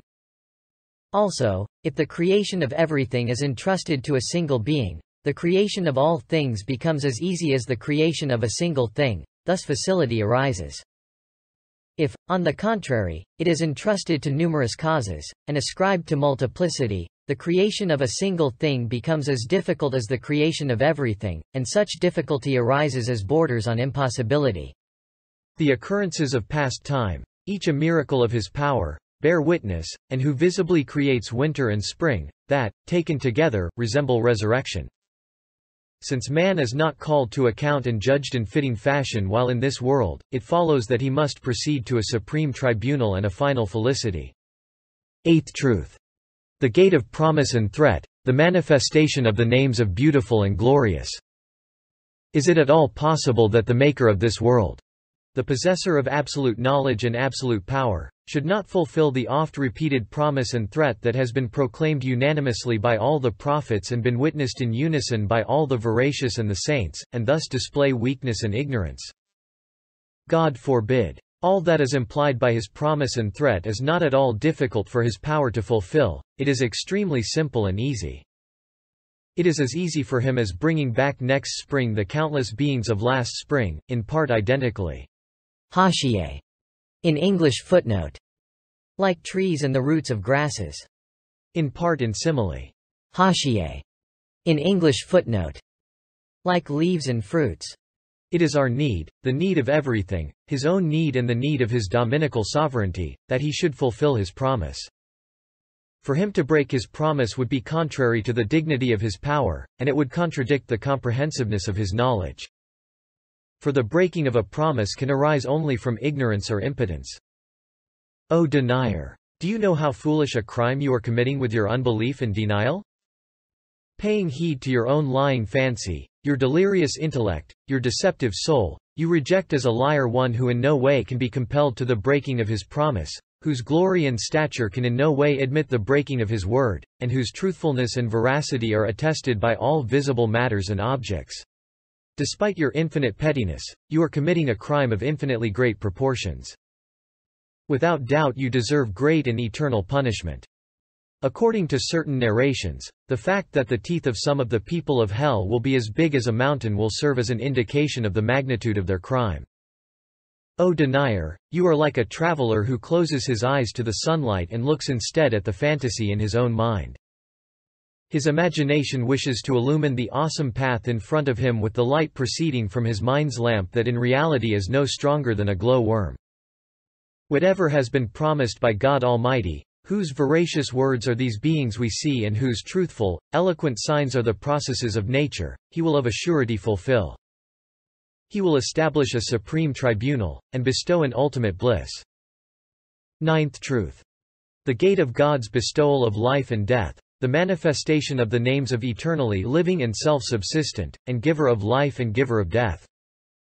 Is it at all possible that the one who gives life to this vast dead and dry earth, who in so doing demonstrates his power by deploying more than 300,000 different forms of creation, each of them as remarkable as man, who further demonstrates in this deployment his all-embracing knowledge by the infinite distinctions and differentiations he makes in the complex intermingling of all of those forms, who directs the gaze of all his slaves to everlasting bliss by promising them resurrection in all of his heavenly decrees, who demonstrates the splendor of his dominicality by causing all of his creation to collaborate with one another, to revolve within the circle of his command and his will, to aid one another and be submitted to him, who shows the importance he has given to man by creating him as the most comprehensive, the most precious and delicate, the most valued and valuable fruit on the tree of creation by addressing him without intermediary and subjugating all things to him. Is it at all possible that so compassionate and powerful a one, so wise and all-knowing a one, should not bring about resurrection, should not gather his creatures together or be unable to do so, should not restore man to life, or be unable to do so, should not be able to inaugurate his Supreme Court, should not be able to create heaven and hell? Nay, indeed, by no means is any of this possible. Indeed, the Almighty Disposer of this world's affairs creates in every century, every year and every day, on the narrow and transient face of the globe, numerous signs, examples and indications of the supreme gathering in the plain of resurrection. Thus in the gathering that takes place every spring we see that in the course of five or six days more than 300,000 different kinds of animal and plant are first gathered together and then dispersed. The roots of all the trees and plants, as well as some animals, are revived and restored exactly as they were. The other animals are recreated in a form so similar as to be almost identical. The seeds which appear, in their outward form, to be so close to each other, Nonetheless, in the course of six days or six weeks, become distinct and differentiated from each other, and then with extreme speed, ease and facility, are brought to life in the utmost order and equilibrium. Is it at all possible that for the one who does all of this anything should be difficult, that he should be unable to create the heavens and the earth in six days, that he should be unable to resurrect men with a single blast? No, by no means is it possible. Let us suppose there were to be some gifted writer who could write out in a single hour the confused and obliterated letters of 300,000 books on a single sheet without any error, omission or defect, complete and in the best form. If someone were then to say to you that that writer could write out again from memory a book written by him that had fallen into the water and become obliterated, would you then say that he is unable, and would you not believe in his ability? Or think of some talented king who, in order to demonstrate his power or for the sake of providing a warning example, removes whole mountains with a single command, turns his realm upside down, and transforms the sea into dry land. Then you see that a great rock rolls down into a valley, so that the path is blocked for guests traveling to attend the king's reception and they are unable to pass. If someone should say to you, that exalted one will remove or dissolve the stone, however great it may be, with a single command, he will not leave his guests stranded, would you then say that he will not remove the stone, or be unable to do so? Or if someone one day should gather together a great army, and you are then informed that he will summon its battalions together with a blast of the trumpet after they had dispersed to rest, and the battalions will form up in disciplined shape, would you respond by saying, I don't believe it? Were you to say any of these things your behavior would truly be madness. If you have understood these three parables, now look further and see how the pre-eternal designer turns over in front of our eyes the white page of winter and opens the green pages of spring and summer. Then he inscribes on the page of the earth's surface, with the pen of power and destiny, in the most beautiful form, more than 300,000 species of creation. Not one encroaches upon another. He writes them all together, but none blocks the path of another. In their formation and shape, each is kept separate from the other without any confusion. There is no error in the writing. That wise and preserving one, who preserves and inserts the spirit of a great tree in the smallest seed, no bigger than a dot, is it permissible even to ask how he preserves the spirits of those who die? That powerful one who causes the globe to revolve like a pebble in a sling, is it permissible even to ask how he will remove this globe from the path of his guests who are traveling to meet him in the hereafter? Again, the one of glorious essence who from non-being recruits anew and inscribes into his battalions, with the command of, be, and behold it is, and with utmost discipline, the troops of all living things, the very particles of all of their bodies, and thus creates highly disciplined armies, is it permissible even to ask how he can make bodies submit to his discipline like a battalion, how he can gather together their mutually acquainted fundamental particles, and their component members? You can, moreover, behold with your own eyes, the numerous designs made by God as signs, similes and indications of resurrection, designs placed by him in every age and epoch of the world, in the alternation of day and night, even in the appearance and disappearance of clouds in the sky. If you imagine yourself to have been living a thousand years ago, and then compare with each other the two wings of time that are the past and the future, then you will behold similes of the gathering and indications of resurrection as numerous as the centuries and days.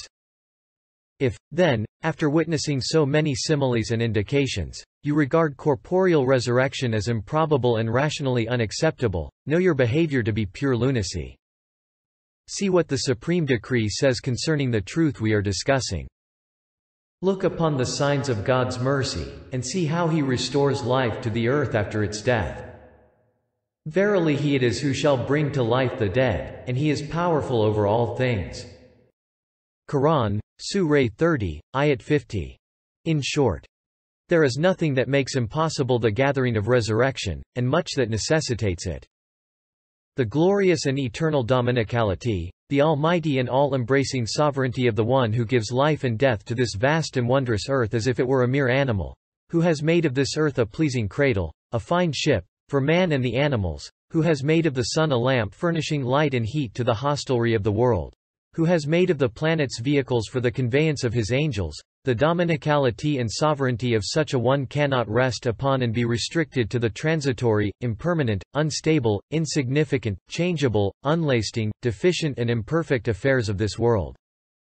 He must, therefore, have another realm, one worthy of him, permanent, stable, immutable and glorious.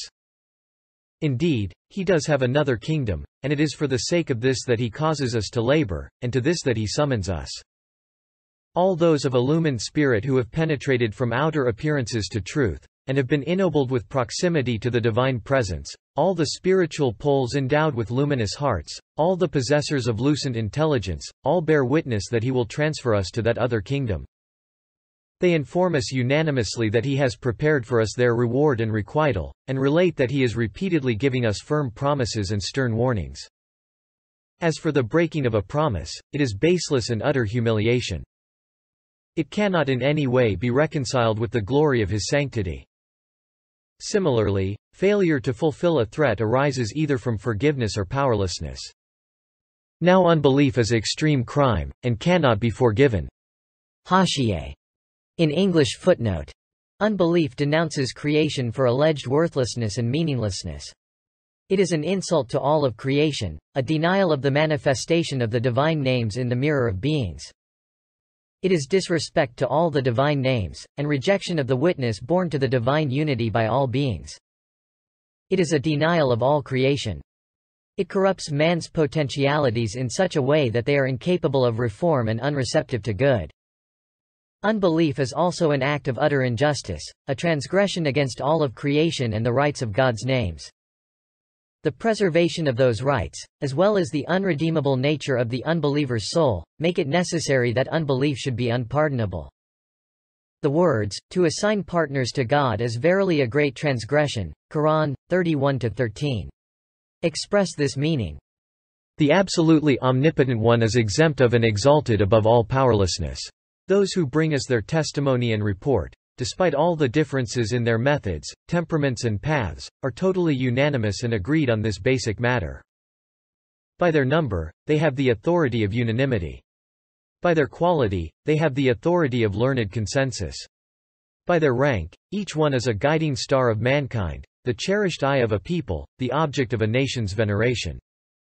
By their importance, each one is an expert and an authority in the matter. In any art or science, two experts are preferred to thousands of non-experts, and two positive affirmers are preferred to thousands of negators in the transmission of a report. For example, the testimony of two men affirming the sighting of the crescent moon at the beginning of Ramadan totally nullifies the negation of thousands of deniers. In short, in the whole world there is no truer report, no firmer claim, no more apparent truth than this. The world is without doubt a field, and the resurrection a threshing floor, a harvest. Paradise and hell are each storehouses for the grain. Tenth truth. The gate of wisdom, grace, mercy and justice, the manifestation of the names of all wise, generous, just and merciful. Is it at all possible that the glorious possessor of all dominion in this impermanent hospice of the world, in this transient place of testing, in this unstable showplace of the earth so manifest a wisdom, so evident a grace, so overwhelming a justice, so comprehensive a mercy, is it at all possible that in his realm, in the worlds of the outer and inner dimensions of things, there should not exist permanent abodes with eternal inhabitants, everlasting stations with immortal residents, and that as a result all the truths of wisdom, grace, mercy and justice that we now see should decline into nothingness. Again, is it at all possible that that all-wise being should choose man, among all his creation, to receive direct and universal address from him, should make him a comprehensive mirror to himself, should permit him to taste, weigh, and become acquainted with, all the contents of his treasuries of mercy, should make himself known to him with all his names, should love him and make himself beloved of him, that he should do all this and then fail to dispatch wretched man to that eternal realm, to invite him to that abode of permanent bliss and make him happy there. Is it at all reasonable that he should impose on every being, even the seed, a task as heavy as a tree, mount in it instances of his wisdom as numerous as the flowers, and beneficial aspects as numerous as the fruits, but assign to that task, to those instances of his wisdom and those beneficial aspects, a purpose pertaining only to this world, one as small as a seed. That he should make that purpose nothing more than the life of this world, something less valuable than a grain of mustard seed. That he should not make a being seeds for the world of meaning and tillage for the realm of the hereafter, for them to yield there their true and worthy results. That he should permit such significant alternations to remain without purpose, to be empty and vain. That he should not turn their faces towards the world of meaning and the hereafter, so that they might there reveal their true purposes and fitting results. Again, is it at all possible that by thus causing things to controvert their own nature he should present his own veracious names, all-wise, generous, just, merciful, as being characterized by their opposites, God forbid. That he should deny the true essences of all those beings that indicate his wisdom and generosity, his justice and mercy, that he should reject the testimony of all creatures, that he should negate the indications made by all things. Can intelligence at all accept that God should impose on man and his senses duties as numerous as the hair on his head, but give him no more than an earthly reward, something no more valuable than a hair? That he should act meaninglessly, in a fashion contrary to his true justice and opposed to his true wisdom.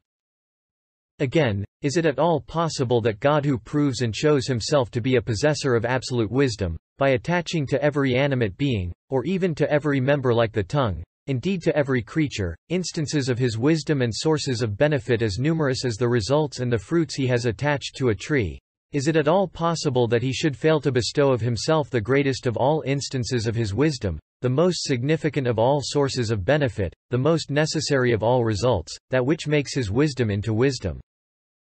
His blessings into blessings, his mercy into mercy, the source and aim of all of his wisdom, bounty, mercy and beneficence, eternity, the meeting with him in the hereafter and everlasting bliss. Were he to abandon these, he would plunge all of his doings unto utter pointlessness and cause himself to resemble a being who constructed a palace, each stone of which contained thousands of designs, in each corner of which thousands of adornments were to be found, and in each part of which thousands of precious household instruments and tools were provided, but failed to build a roof over it, so that everything rotted and was needlessly destroyed. No, by no means can this be true. From absolute goodness comes forth goodness, and from the possessor of absolute beauty comes forth beauty. So too nothing devoid of purpose can emerge from the possessor of absolute wisdom. Whoever in his imagination embarks on the ship of history and sets sail for the past, will see dead stages, places, gatherings and worlds, as numerous as the years, and each like the stopping place that is the world, the field of trial, the gathering of creation, that we now see. In form and quality they are different from each other, but they resemble each other with respect to their orderliness, their wondrousness and the fashion in which they display the power and wisdom of the Maker.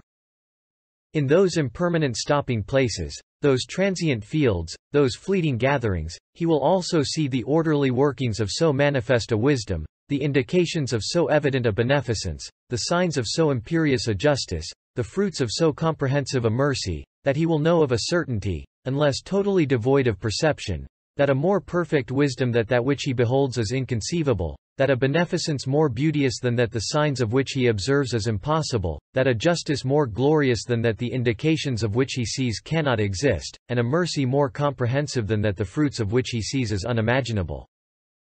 If, to suppose the impossible, there were no permanent abodes, lofty mansions, everlasting stations and eternal abodes, with their eternal residents, God's joyous servants, in the realm of that eternal monarch who disposes all affairs and who constantly is changing the hospice and its inmates, then it would be necessary to reject the true essences of wisdom, justice, beneficence and compassion, those four powerful and universal spiritual elements that are like light, air, water and earth, and to deny their existence, even though they are as apparent as that of the external elements. For it is plain that this impermanent world and its contents cannot be a complete manifestation of their true essences. If there is no other place, somewhere else, where they can be manifested fully, it then becomes necessary, with a lunacy like that of the man who denies the existence of the sun even though he sees its light filling the day, to deny the wisdom that we can see in everything in front of our eyes, to deny the beneficence that we can observe in our own souls and in most other things, to deny the justice the signs of which appear so strongly. Hashiye. In English footnote. There are two varieties of justice, one affirmative, the other negative. The positive variety consists in giving the deserving his right. This form of justice exists throughout the world in the most obvious fashion, because, as proven in the third truth, it observably bestows, in accordance with special balances and particular criteria, all the objects of desire requested by everything from its glorious creator with the tongue of innate capacity, the language of natural need, the speech of necessity, and all the requirements of life and existence. This variety of justice is, then, as certain as life and existence itself. The other variety of justice, the negative, consists in chastising the unjust. It gives wrongdoers their due by way of requital and punishment. This type of justice is not fully manifest in this world, even though there are countless signs and indications that permit us to sense its true nature. For example, all the chastising blows and punitive lashes that have descended on all rebellious peoples, from the Ad and Samud, to those of the present age, show definitely that an exalted justice dominates the world and to deny the compassion we see everywhere in operation. It follows in turn that we must regard as a foolish prankster, a treacherous tyrant, the one from whom proceed all the wise processes, the generous deeds and the merciful gifts we perceive in the universe. God forbid that this should be so, it is a totally impossible reversal of the truth. Even the foolish sophists, who denied the existence of everything and even that of their own selves, would not readily contemplate such a proposition. In short, considering the utter disparity between, on the one hand, this state of affairs which we see together with the universal fusions of life and the swift separations of death, the imposing gatherings and the rapid dispersions, the magnificent revolutions and the great manifestations, and, on the other hand, the petty fruits we see briefly attained in this transient world, the temporary and insignificant purposes of beings that pertain to this world, we conclude that the non-existence of the hereafter would mean attaching to a little stone wise purposes as great as a mountain, and to a great mountain, a purpose as petty as a small stone. No intelligence or wisdom can find this acceptable. In other words, this lack of proportion between beings and these matters on the one hand, and their purposes pertaining to this world on the other, demonstrates with certainty that all beings have their faces turned to the world of meaning. It is there that they will yield their appropriate fruits, and their eyes are fixed on the sacred names. Their ultimate aims pertain to that world alone. While their substance is hidden beneath the soil of this world, their flowers will unfold in the world of similitudes. Man sows and is sown in this world, in accordance with his capacity, the harvest is gathered in the hereafter. If you look at the aspect of things that is turned towards the divine names and the hereafter you will see that each seed, a miracle of power, has an aim as vast as a tree. Each flower, which is like a word of divine wisdom, has meanings as numerous as the flowers on a tree, and each fruit, a wonder of God's workmanship and a poem dictated by his mercy, has wise purposes as numerous as the fruits of a tree. As for the fruit serving us as sustenance, it is merely one out of those many thousand wise purposes. It fulfills its purpose, expresses its meanings, and dies, being buried in our stomach. Hashiye. In English footnote. If it be asked, why do your parables consist chiefly of flowers, seeds and fruits, our answer is that they are the most wondrous, remarkable and delicate of the miracles of God's power. Moreover, since naturalists, philosophers and the people of misguidance have been unable to read the subtle script written upon them by the pen of destiny and power, they have choked on them, and fallen into the swamp of nature. Since these transient beings yield eternal fruits in another place, leave their permanent forms of themselves, and express their everlasting meanings, since they engage in ceaseless glorification of the Maker, and since man becomes man by perceiving these aspects of things that are oriented to the hereafter, thus finding his way to eternity by means of the transient. Since all of this is true, there must be some other purpose for all these beings that are cast around between life and death, that are first gathered and then dispersed. There is no error in this comparison. The above-mentioned state of affairs resembles circumstances formed and arranged by way of imitation and representation. Brief gatherings and dispersions are arranged at great expense merely for the sake of taking pictures that can thereafter be shown in the cinema. So too, one of the reasons for our passage through individual and social life in this life, for a brief time, is to enable pictures to be taken and images formed, to enable the result of our deeds to be registered and recorded, for display on a day of accounting, for being shown at a vast gathering, and to yield the fruit of supreme happiness. The noble saying of the prophet peace and blessing be upon him, this world is the tillage for the hereafter, indicates this meaning. Since the world exists, and within this world wisdom, beneficence, compassion and justice also exist, with their numerous evidences, of a certainty the hereafter also exists, just as surely as does this world. Since one aspect of everything in this world is turned to that world and is proceeding toward it, to deny that world would be denying this world with all it contains. Just as the allotted hour and the grave await man, so too do paradise and hell, anxiously watching for his arrival. Eleventh truth. The gate of humanity, and the manifestation of the name of truth.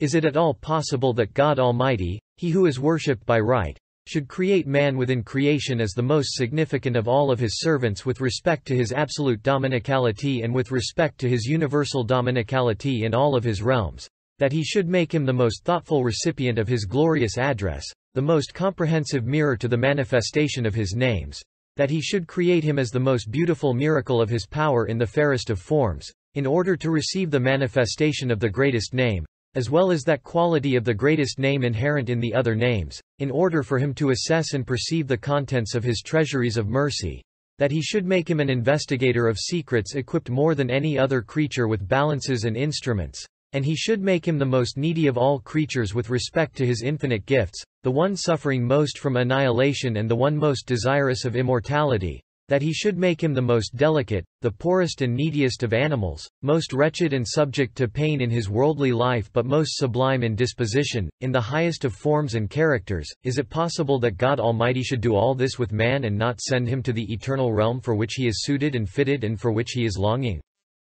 Is it possible that he should thus negate the whole essence of humanity, act in a manner totally contrary to his own veracity, and perform an act of injustice that the eye of truth must deem ugly?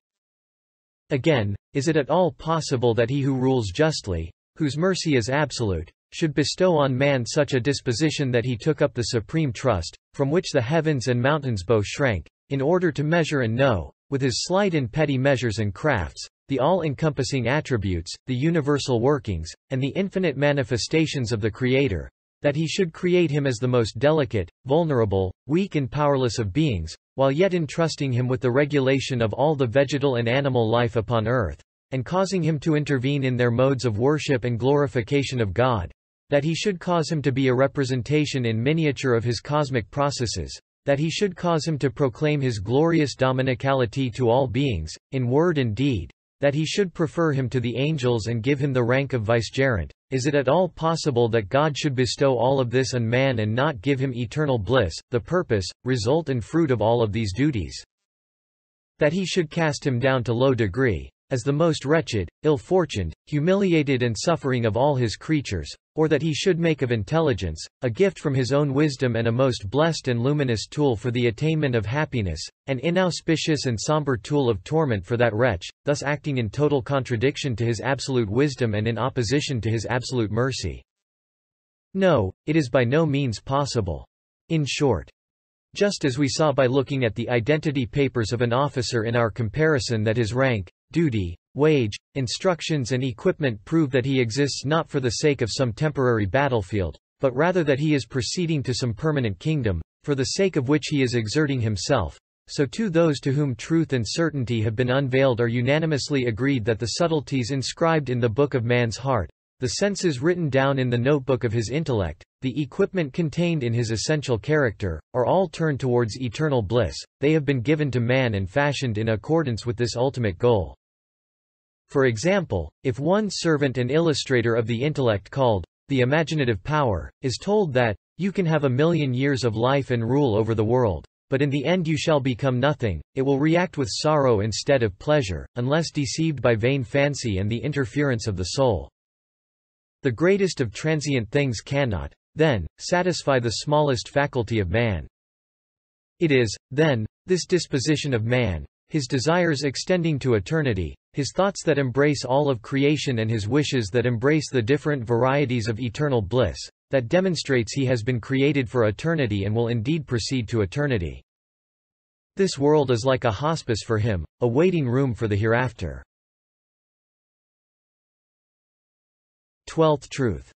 The gate of messengerhood and revelation, and the manifestation of, in the name of God, the merciful, the compassionate, is it at all possible that errant doubts, no stronger than the wing of a fly, could close the path to the hereafter and the gate to paradise that have been definitively opened by the most noble messenger peace and blessings be upon him, with all of his might, relying upon the power of his thousand certified miracles as well as the thousands of decisive verses of the all-wise Quran, a book miraculous in forty different ways, that messenger whose words are affirmed by all of the other prophets, relying upon their own miracles, whose claim is affirmed by all of the saints, relying upon their visionary and charismatic experiences, and to whose veracity all of the purified scholars bear witness, relying upon their investigations of truth.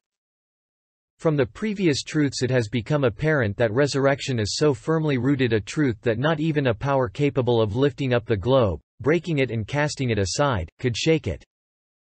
For God Almighty himself affirms this truth in accordance with the meaning of all his names and attributes. His noble messenger confirms it with all of his miracles and evidences, The all-wise Quran establishes it with all of its truths and verses, and the cosmos itself bears witness to it with all the creational signs it contains and all the wise processes that take place within it. Is it at all possible that the necessary being should unite with all of his creation excepting only the unbelievers on this question of resurrection, and doubts feebler than a whisker and satanic insinuations should shake and uproot that exalted and firmly rooted truth which resembles a mountain? No, by no means. Beware, do not imagine that the proofs of resurrection are restricted to the twelve truths we have mentioned.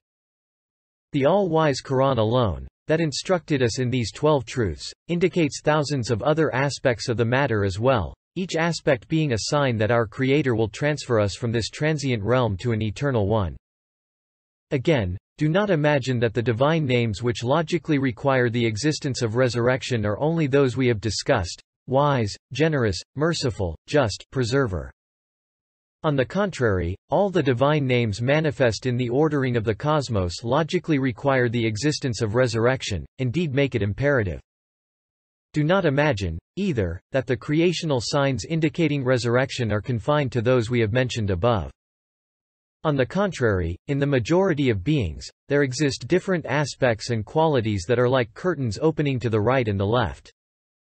One aspect bears witness to the Maker, and the other aspect indicates resurrection. For example, the beauty of man's being, fashioned as he is in the fairest of forms, demonstrates the existence of the Maker, while at the same time the fact that together with his comprehensive abilities, lodged in that fairest of forms, he soon declines and dies, demonstrates the existence of resurrection. Sometimes, if one looks at the same aspect in two different ways, one sees that it demonstrates the existence both of the Maker and of resurrection. For example, if one looks at the wise ordering, the just balance, the gracious adornment and the merciful favor inherent in most things, they are seen to demonstrate that they proceed from the powerful hand of a wise, generous, just and merciful Maker. So too, if one looks at the brief and insignificant life of the transient beings that are the manifestations of these qualities, despite their power and infinitude, the hereafter appears before one. In other words, all things silently recite and cause others to recite, I believe in God and the last day. Conclusion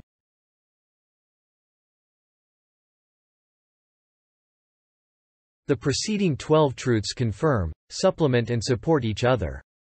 Coming together in union, they demonstrate the required result. Does it lie in the capacity of any doubt to penetrate those twelve firm walls, each like steel or diamonds, in order to shake the belief in resurrection housed within their closed citadel? The verse, Your creation and resurrection is but like a single soul. Quran, Surah 31, Ayat 28, indicates the following meaning. The creation and resurrection of all men is as easy for God's power as the creation and resurrection of a single man. Yes indeed. In a treatise entitled Nokta Point, I explained in detail the truth expressed by this verse. Here we will indicate only a summary by means of a few comparisons. If you want more detail, then refer to Nokta.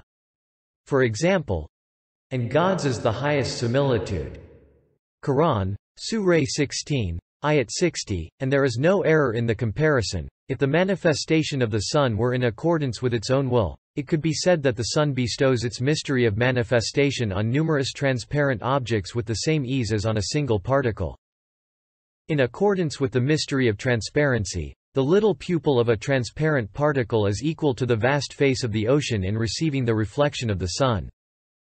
In accordance with the mystery of order, it overturns a huge battleship with the same ease as a child turning over his toy boat with his finger. In accordance with the mystery of obedience, it causes a vast army to move with the same word that a commander uses to make a single infantryman move. In accordance with the mystery of equilibrium, let us imagine there to exist in space a balance so sensitive and at the same time so large that were two walnuts to be placed in its pans it would feel them, and be equally able to hold and to weigh two suns. If two suns of equal weight were placed in the pans of the scale, the same power, which causes one of the walnuts to be lifted up to the heavens and the other walnut to descend to the ground, will move these heavenly bodies with the same ease. Since in this lowly, deficient and transient world of contingency, the greatest and smallest things are equal, and numerous, infinite things appear equal to a single thing, through the mystery of luminosity, transparency, order, obedience and balance, then of a certainty little and much, small and great, will be equal before the possessor of absolute power, and he will be able to summon all men to resurrection with a single blast on the trumpet, just as if they were one man, this, by virtue of the mysteries of the luminous manifestations of the infinite and utterly perfect power of his essence, the transparency of the inner dimension of things, the order decreed by wisdom and destiny, the complete obedience of all things to his creational commands, and the equilibrium existing in contingent being, that consists of the equivalence of the being and non-being of the contingent. Furthermore, the degrees of strength and weakness that a thing possesses are determined by the intervention in that thing of its opposite. For example, degrees of heat are determined by the intervention of cold, degrees of beauty, by the intervention of ugliness, stages of light, by the intervention of darkness. But if something exists of itself, and is not accidental, then its opposite cannot interfere with it, for then a union of opposites would logically have to occur, and that is impossible. In something that exists of itself, there can then be no gradation. Now the power of the possessor of absolute power pertains to his essence, it enjoys absolute perfection and is not accidental like contingent being. It is therefore impossible that its opposite, impotence, should intervene in it. Hence it is as easy for the Lord of glory to create a spring as it is to create a flower.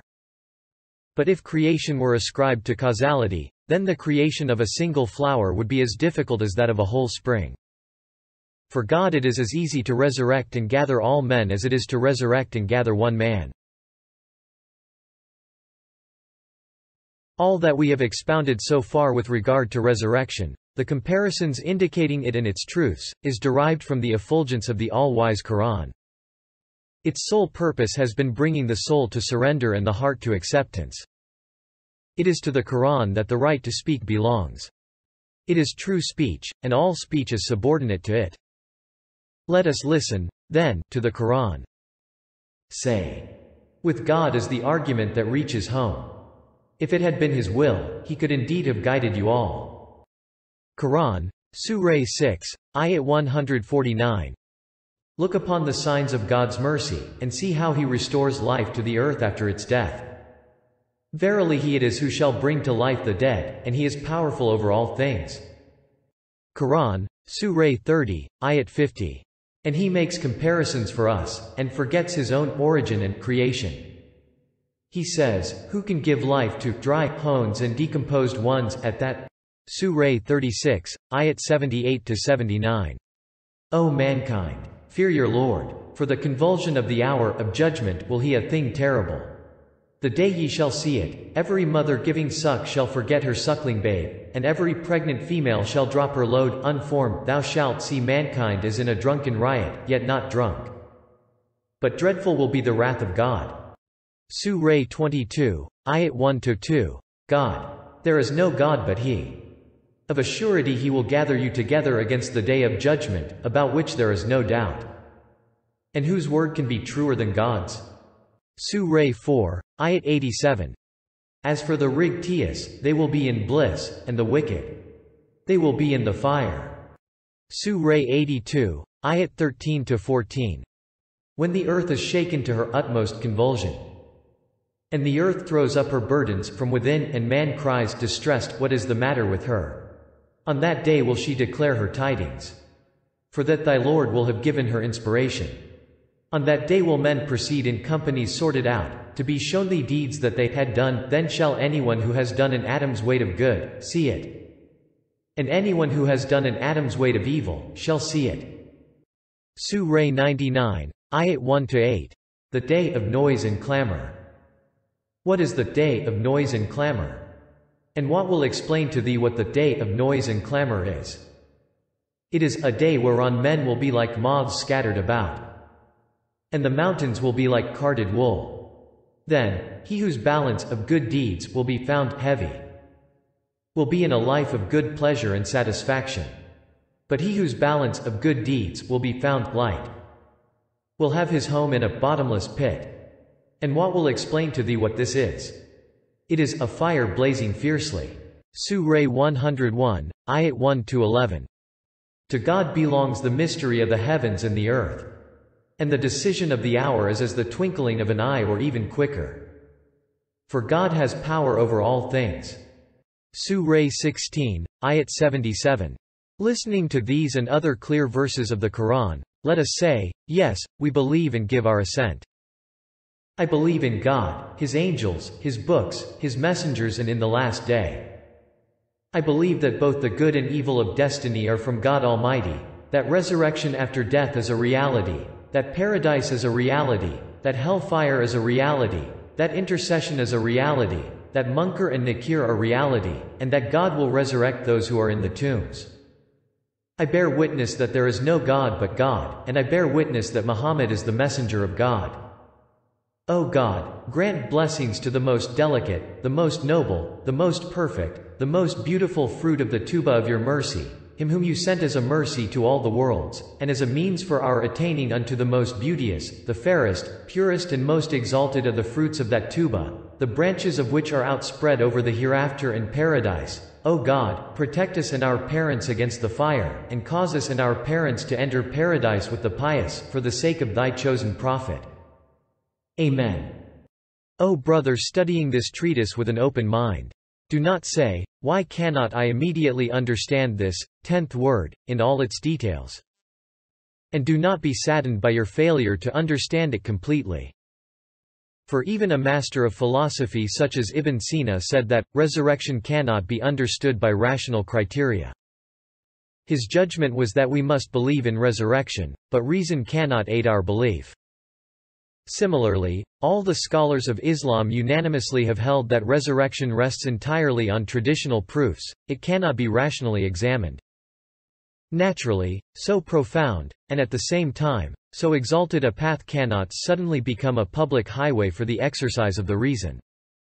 But we would offer a thousand thanks that the merciful Creator has bestowed upon us this much of the path, by means of the effulgence of the all-wise Quran and his own mercy in an age when belief by imitation is past and meek acceptance has disappeared. For the amount vouchsafed to each of us is enough for the salvation of our faith. Being content with the amount that we have been able to understand, we should reread the treatise and seek to increase our comprehension. One of the reasons that it is impossible to approach a rational understanding of resurrection is that since the supreme gathering, resurrection, is through the manifestation of the greatest name, only through beholding and demonstrating the great deeds evident in the maximum manifestation of the greatest name of God as well as his other names, is it possible to prove it as certain, and unshakably believe that resurrection is as simple as the spring. Thus do matters appear and thus they are demonstrated in this, tenth word, resurrection and the hereafter, by means of the effulgence of the Quran. Were it not for this effulgence, and were our intelligence to be left to its own petty devices, it would be powerless, and condemned to believing in resurrection by way of imitation. The first part of an important supplement and addendum to the tenth word. In the name of God, the merciful, the compassionate. So, give glory to God, when you reach eventide and when you rise in the morning. Yea, to him he prays, in the heavens and on earth, and in the late afternoon and when the day begins to decline. It is he who brings out the living from the dead, and brings out the dead from the living, and who gives life to the earth after it is dead. And thus shall you be brought out, from the dead among his signs is this, that he created you from dust, and then, behold, you are men scattered, far and wide, and among his signs is this, that he created for you mates from among yourselves, that you may dwell in tranquility with them, and he has put love and mercy between your hearts, verily in that are signs for those who reflect. And among his signs is the creation of the heavens and the earth, and the variations in your languages and your colors. Verily in that are signs for those who know. And among his signs is the sleep that you take by night and by day, and the quest that you make for livelihood, out of his bounty. Verily in that are signs for those who hearken. And among his signs, he shows you the lightning, by way both of fear and of hope, and he sends down rain from the sky and with it gives life to the earth after it is dead. Verily in that are signs for those who are wise. And among his signs is this, that heaven and earth stand by his command. Then when he calls you, by a single call, from the earth, behold, you straightway come forth. To him belongs every being that is in the heavens and on earth. All are devoutly obedient to him. It is he who begins the process of creation, then repeats it, and for him it is most easy. To him belongs the loftiest similitude we can think of, in the heavens and the earth. For he is exalted in might, full of wisdom. Quran, Surah 30, Ayat 17, 2, 27. In this ninth ray will be expounded a supreme point of these sublime heavenly verses, which demonstrate one of the poles of belief. These mighty sacred proofs of the resurrection of the dead will be explained. It is a subtle instance of dominical grace that 30 years ago at the end of his work entitled, Muhakamat, Reasonings, which was an introduction to Quranic commentaries, the Old Said wrote. Second aim. Two Quranic verses alluding to the resurrection of the dead will be expounded and explained. In the name of God, the merciful, the compassionate. There he stopped and could write no further. Now, Praise and thanks to my compassionate Creator to the number of signs and indications of the resurrection, that after thirty years he has given me success. Yes, nine or ten years ago, he bestowed the tenth and twenty-ninth words, two brilliant and powerful proofs expounding the divine decree of. So look to the signs of God's mercy, how he raises to life the earth after its death, he it is who will raise the dead to life, for he is powerful over all things. Quran, Surah 30, Ayat 50, which was the first of the two verses. They silenced the deniers of resurrection. Now, nine or ten years after those two impregnable bastions of belief in the resurrection of the dead, he bestowed with the present treatise a commentary on the second of the above two sublime verses. This ninth ray, then, consists of nine elevated stations, indicated by the above-mentioned verses, and an important introduction. Introduction this consists of two points comprising a concise explanation of one comprehensive result of the numerous spiritual benefits of belief in resurrection and of its vital consequences, a demonstration of how essential it is for human life and especially for the life of society, a summary of one universal proof out of numerous proofs of the tenet of belief in the resurrection, and a statement of how indubitable and self-evident is that tenet of belief. First point. We shall indicate, as a measure, only four out of hundreds of proofs that belief in the hereafter is fundamental to the life of society and to man's personal life, and is the basis of his happiness, prosperity, and achievement. The first. It is only with the thought of paradise that children, who form almost a half of mankind, can endure all the deaths around them, which appear to them to be grievous and frightening, and strengthen the morale of their weak and delicate beings. Through paradise they find hope in their vulnerable spirits, prone to weeping, and may live happily. For example, with the thought of paradise, one may say, My little brother or friend has died and become a bird in paradise. He is flying around paradise and living more happily than us. The frequent deaths before their unhappy eyes of other children like themselves or of grown-ups will otherwise destroy all their resistance and morale, making their subtle faculties like their spirits, hearts, and minds weep in addition to their eyes. They will either decline utterly or become crazy, wretched animals. Second proof.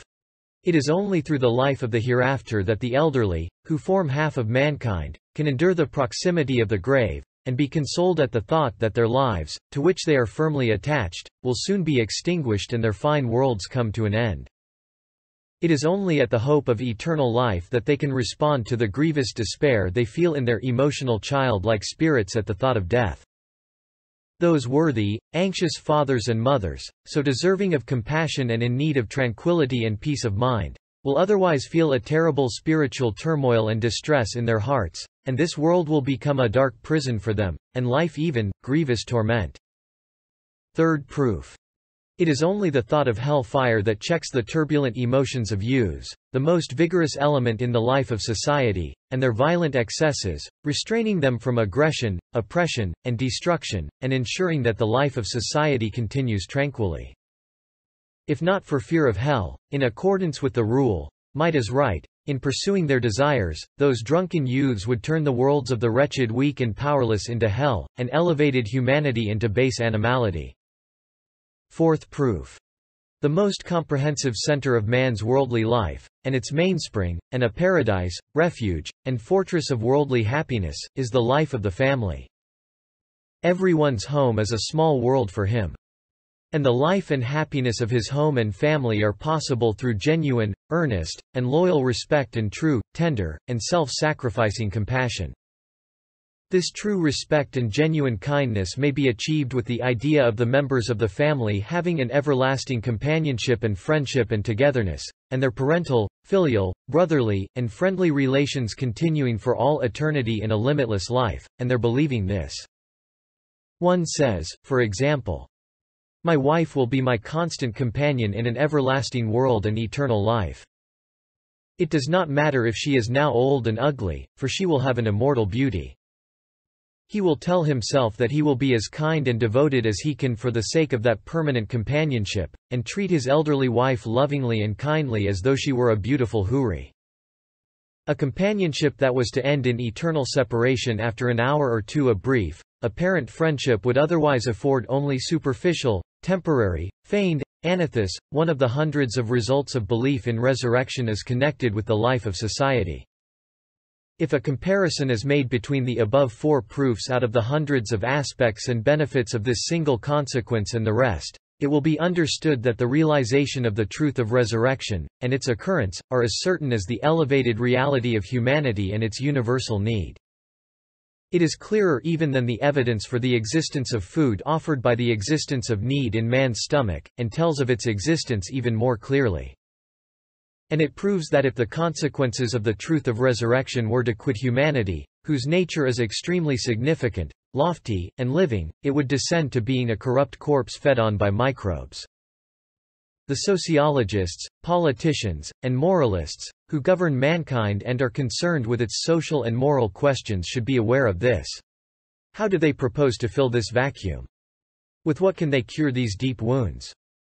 Second point.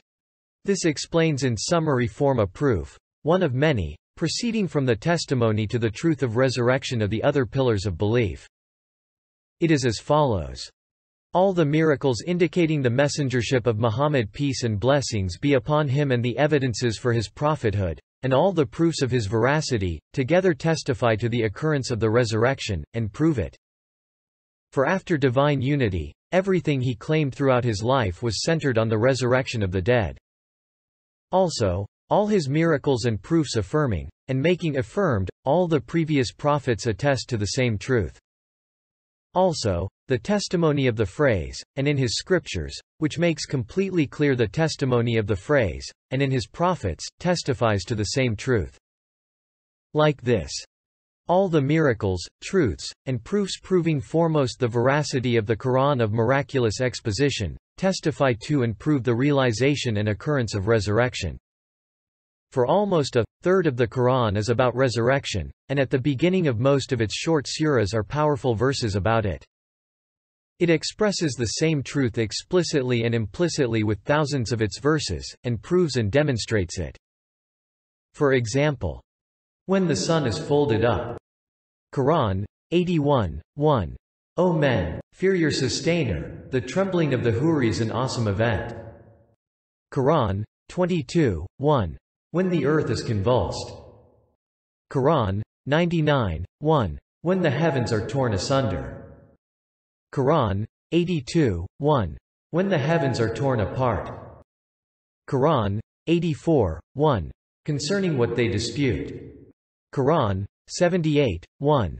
Has the story reached you, of the overwhelming event? Quran, 82, 1. Besides demonstrating with complete certainty at the beginning of 30 or 40 suras that resurrection is the most important and necessary truth in the universe, it sets forth various persuasive evidences for that truth in others of its verses. Is there any possibility that belief in the hereafter should be false, which emerges like the sun from the thousands of declarations and statements of a book a single indication of one of the verses of which has yielded before our eyes the fruits of numerous learned and cosmic truths in the Islamic sciences?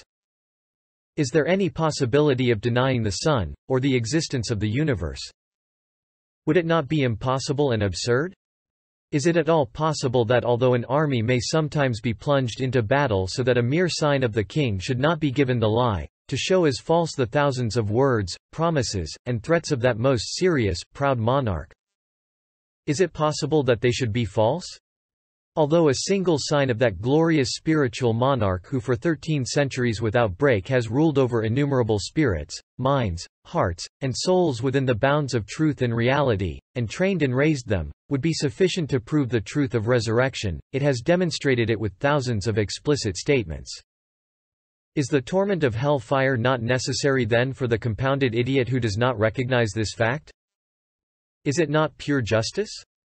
Moreover, by their definite acceptance of the truth of resurrection, which the Quran, prevailing over the future and all times, repeatedly proves in detail and elucidates, all the revealed scriptures and sacred books, each of which dominated a particular period, proved it according to their own times and centuries, but in undetailed, veiled, and summary manner, confirming with a thousand signatures what the Quran teaches. Included here since it is related to this discussion is the testimony at the end of the third ray of the other pillars of faith and particularly, the prophets, and, holy scriptures, to, belief in the last day. It forms a convincing proof of resurrection, and is in the form of a powerful yet succinct supplication, which dispels all doubts. It says in the supplication, O my compassionate sustainer! I have understood from the instruction of your noble messenger, Peace and blessings be upon him, and the teaching of the Quran, that foremost the Quran and the Messenger, and all the sacred scriptures and prophets, have unanimously testified and pointed out that the manifestations of the names related to your beauty and glory, examples of which are to be seen in this world, will continue even more radiantly for all eternity, and that your bounties, samples of which are to be observed in this transitory world, will continue in the abode of bliss in more glittering fashion, and that those who long for them in this world will accompany them for all eternity. Also, relying on hundreds of evident miracles and decisive signs, foremost your most noble messenger peace and blessings be upon him and the all-wise Quran, and the prophets with their luminous spirits, and the saints, who are spiritual poles with their light-filled hearts, and the purified scholars with their enlightened intellects, relying on your repeated threats and promises in all the sacred scriptures, and trusting in your sacred attributes like power, mercy, favor, wisdom, glory, and beauty, and on your functions, and the dignity of your glory, and the sovereignty of your dominicality, and in consequence of their illuminations and visions and beliefs at the knowledge of certainty, give the glad tidings to men and jinn of eternal happiness and inform them of hell for the people of misguidance. They firmly believe this and testify to it. O all-powerful and wise one! O most merciful and compassionate! O munificent one true to his promise! O all-compelling one of glory, one of dignity, grandeur, and wrath! You are utterly exempt from an exalted above giving the lie to so many loyal friends, and so many promises, and attributes and functions, and denying the certain demands of the sovereignty of your dominicality and the endless prayers and supplications of your innumerable acceptable servants, whom you love and who attract your love by assenting to you and obeying you. And you are exempt from confirming the denial of resurrection by the people of misguidance and unbelief, who through their disbelief and rebellion and denial of your promises, offend the magnificence of your grandeur and affront your dignity and glory and the honor of your Godhead, and sadden the compassion of your dominicality. We declare your justice, beauty, and mercy to be exempt from such infinite tyranny, such ugliness. We believe with all our strength that the testimony of the prophets, purified scholars, and saints, who are those truthful envoys of yours, those heralds of your sovereignty, at the degrees of absolute certainty, knowledge of certainty, and the vision of certainty, to the treasuries of your mercy in the hereafter and the stores of your bounties in the everlasting realm and to the wondrously beautiful manifestations of your beautiful names, which will be manifested totally in the abode of bliss, are absolutely true and veracious, and what they have indicated conforms absolutely with reality, and that what they have given glad tidings of is true and will occur. Believing that the supreme ray of your name of truth, which is the source, sun, and protector of all realities, is this truth of the resurrection and great gathering, they teach it to your servants. O God! For the sake of what they teach and in veneration of it, grant us and all students of the Risale-i Nur, perfect belief and a happy death. And allow us to receive their intercession. Amen. Moreover, just as all the proofs demonstrating the veracity of the revealed scriptures, and all the miracles and evidences proving the prophethood of God's beloved peace and blessings be upon him and of all the prophets, indirectly prove the reality of the hereafter, which is what they teach above all else. So most of the evidences for the existence and unity of the necessary existent testify indirectly to the existence and opening up of an eternal realm of bliss, which will be the supreme manifestation of dominicality and divinity. For as is explained and proved in the following paragraphs, both the existence of the necessarily existent one, and most of his attributes, functions and names, like dominicality, Godhead, mercy, grace, wisdom, and justice, necessitate the hereafter with the utmost certainty, and demand an eternal realm and the resurrection of the dead and last judgment for the granting of reward and punishment. Since there is a pre-eternal and post-eternal God, most certainly there is the hereafter, the everlasting means of the sovereignty of his Godhead. And since there is in the universe and in living beings a most majestic, wise, and compassionate absolute dominicality, and it is apparent, there is certain to be an eternal realm of happiness which will save the majesty of that dominicality from abasement, its wisdom from purposelessness, and its compassion from cruelty, and that realm shall be entered. And since the unlimited bestowals, bounties, favors, gifts, and instances of grace and mercy which are to be seen, show to minds that are not extinguished and hearts that are not dead that behind the veil of the unseen is one all-merciful and compassionate, surely there is an immortal life in an eternal realm which will save the bestowal from mockery, the bounties from deception, the favors from enmity, the mercy from torment, the grace and gifts from treachery, and will make the bounties bounty and the bestowal bestowal. And since in the springtime on the narrow page of the earth, a pen of power writes a hundred thousand books without error tirelessly before our eyes, and since the holder of the pen has promised a hundred thousand times, I am going to write a fine, immortal book in a broad realm, easier than this book of the spring, which is written in this narrow realm, confused and intermingled, and I shall allow you to read it. He mentions the book in all his decrees, Certainly, the main part of the book has been written, and with the resurrection and last judgment its footnotes shall be added, and all the notebooks of people's actions shall be recorded in it. And since, with its multiplicity of creatures, and its being the dwelling, source, factory, exhibition, and gathering place of hundreds of thousands of constantly changing species of living beings and beings with spirits, and the heart, center, summary, and result of the universe, and the reason for its creation, the earth has supreme importance, and is held equal to the mighty heavens despite its smallness. In the heavenly decrees, it is always said, Sustainer of the heavens and earth.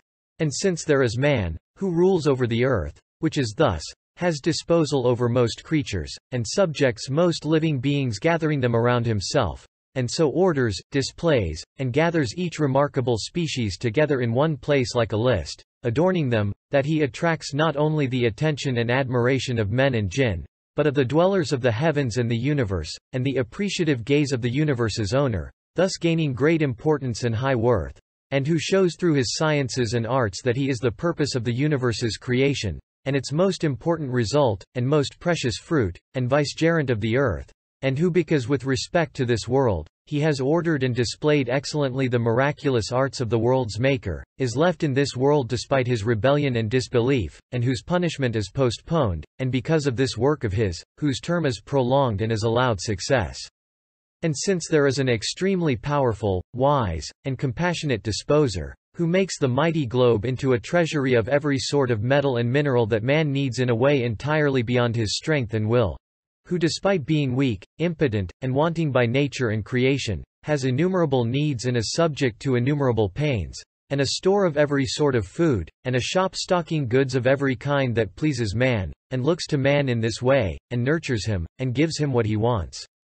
And since there is a sustainer who is thus, who both loves man, and causes man to love him, and who is enduring, and has eternal worlds, and who performs every work with justice, and carries out everything with wisdom, and since the splendor of that pre-eternal sovereign's rule and his eternal rule cannot be contained in this brief worldly life, and in man's fleeting span, and in the temporary and transient earth, and since the excessive wrongdoing and rebellion that occur among men, which are contrary to and opposed to the universe's order, justice, balance, and beauty, and their denial, treachery, and disbelief towards their benefactor, who nurtures them tenderly, are not punished in this world, and the cruel oppressor passes his life in ease, while the unhappy oppressed live in hardship, and since the absolute justice whose traces are to be seen throughout the universe is entirely opposed to the cruel tyrant and despairing oppressed being equal in death, and would in no way permit it. And since just as the universe's owner has chosen the earth from the universe, and man from the earth, and bestowed on him a high rank and importance, so out of mankind he has chosen the prophets, saints, and purified ones, true human beings who conform to the aims of his dominicality and through their belief and submission make him love them, he has taken them as friends and addressees, and bestowed miracles and success on them and punished their enemies with heavenly blows. And out of these worthy and lovable friends he has chosen their leader and source of pride. Muhammad peace and blessings be upon him, and for long centuries has illuminated with his light half the globe and a fifth of humanity. As though the universe was created for him, all its purposes become apparent through him and his religion and the Quran. And although he deserved to live for an infinite time in recompense for his infinitely valuable service, for millions of years, he only lived a brief 63 years of great hardship and striving. Is there any possibility then that he should not be resurrected together with all his peers and friends? That they should not now be living in the Spirit? That they should have been annihilated eternally? God forbid, a hundred thousand times. Yes. All the universe and the reality of the world demand that he should be resurrected and they beseech the universe's owner that he should be living. And since in the seventh ray, the supreme sign, each with the strength of a mountain, the 33 powerful consensuses have proved that the universe emerged from a single hand and is the property of a single being, and have demonstrated self-evidently his unity and oneness, the means of the divine perfections, and through unity and oneness all beings become like soldiers under orders and subservient officials, and with the coming of the hereafter, perfections are saved from decline, absolute justice from mocking cruelty, universal wisdom from foolish absurdity, all-embracing mercy from jeering torment, and the dignity of power from abased impotence, and they are exonerated from this. Certainly and without any doubt, as necessitated by the truths in these six senses, six out of hundreds of points of belief in God, the end of the world shall come and the resurrection of the dead occur.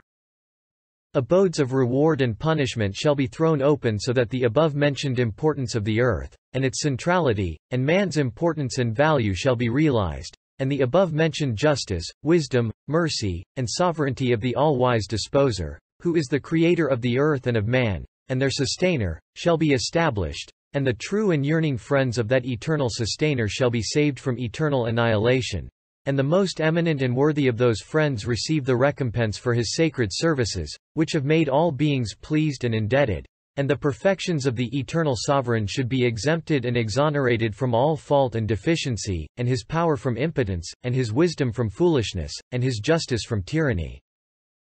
In short, since God exists, so does the hereafter certainly exist. Moreover, just as with all the evidences that prove them, the above three pillars of belief testify to and indicate resurrection. So do the two pillars, and in the angels, and in divine determining, that both the good of it and the evil of it are from God Almighty, also necessitate resurrection and testify in powerful fashion to the eternal realm. It is like this. All the evidences proving the existence of the angels and their duties of worship, and innumerable observations of them and conversations with them, prove indirectly the existence of the spirit world, and the world of the unseen, and the eternal realm and world of the hereafter, and the existence of an abode of happiness and paradise and hell, which in the future shall be populated with men and jinn. For with divine permission, the angels can see these worlds and enter them. And all the high-ranking angels who meet with humans, like Gabriel, tell unanimously of the existence of these worlds and of their traveling round them. Just as we are certain, due to the information of those coming from there, that the continent of America exists, although we have not seen it, so due to information about the angels, which has the strength of a hundredfold consensus, we should believe in the existence of the world of eternity, the realm of the hereafter, and paradise and hell with the same certainty. And thus we do believe in it. Furthermore, all the evidences proving the pillar of belief in divine determining, included in the treatise on divine determining, the 26th word, prove indirectly the resurrection of the dead, the balancing of deeds on the supreme scales, and the publishing of the pages of deeds. for the recording before our eyes of the appointed courses of all things on the tablets of order and balance, and the inscribing of the life stories of all living beings in their faculties of memory, and the transcribing of the notebooks of deeds of all beings with spirits, and especially men, on the preserved tablet, such a comprehensive determining and wise apportioning and precise recording and preserving inscription could surely only be the result of a general judgment in a supreme tribunal set up to mete out permanent reward and punishment. That comprehensive and precise recording and preservation would otherwise be completely meaningless and purposeless, and contrary to wisdom and reality. Also, if there was no resurrection, all the certain meanings of the Book of the Universe, written with the pen of divine determining, would be nullified, which is completely impossible. It is as impossible as denying the universe's existence, indeed, is a delirium. In short, the five pillars of belief demand with all their evidences the occurrence of the resurrection and last judgment, and their existence, and the existence and opening up of the realm of the hereafter, and they testify to these and necessitate them.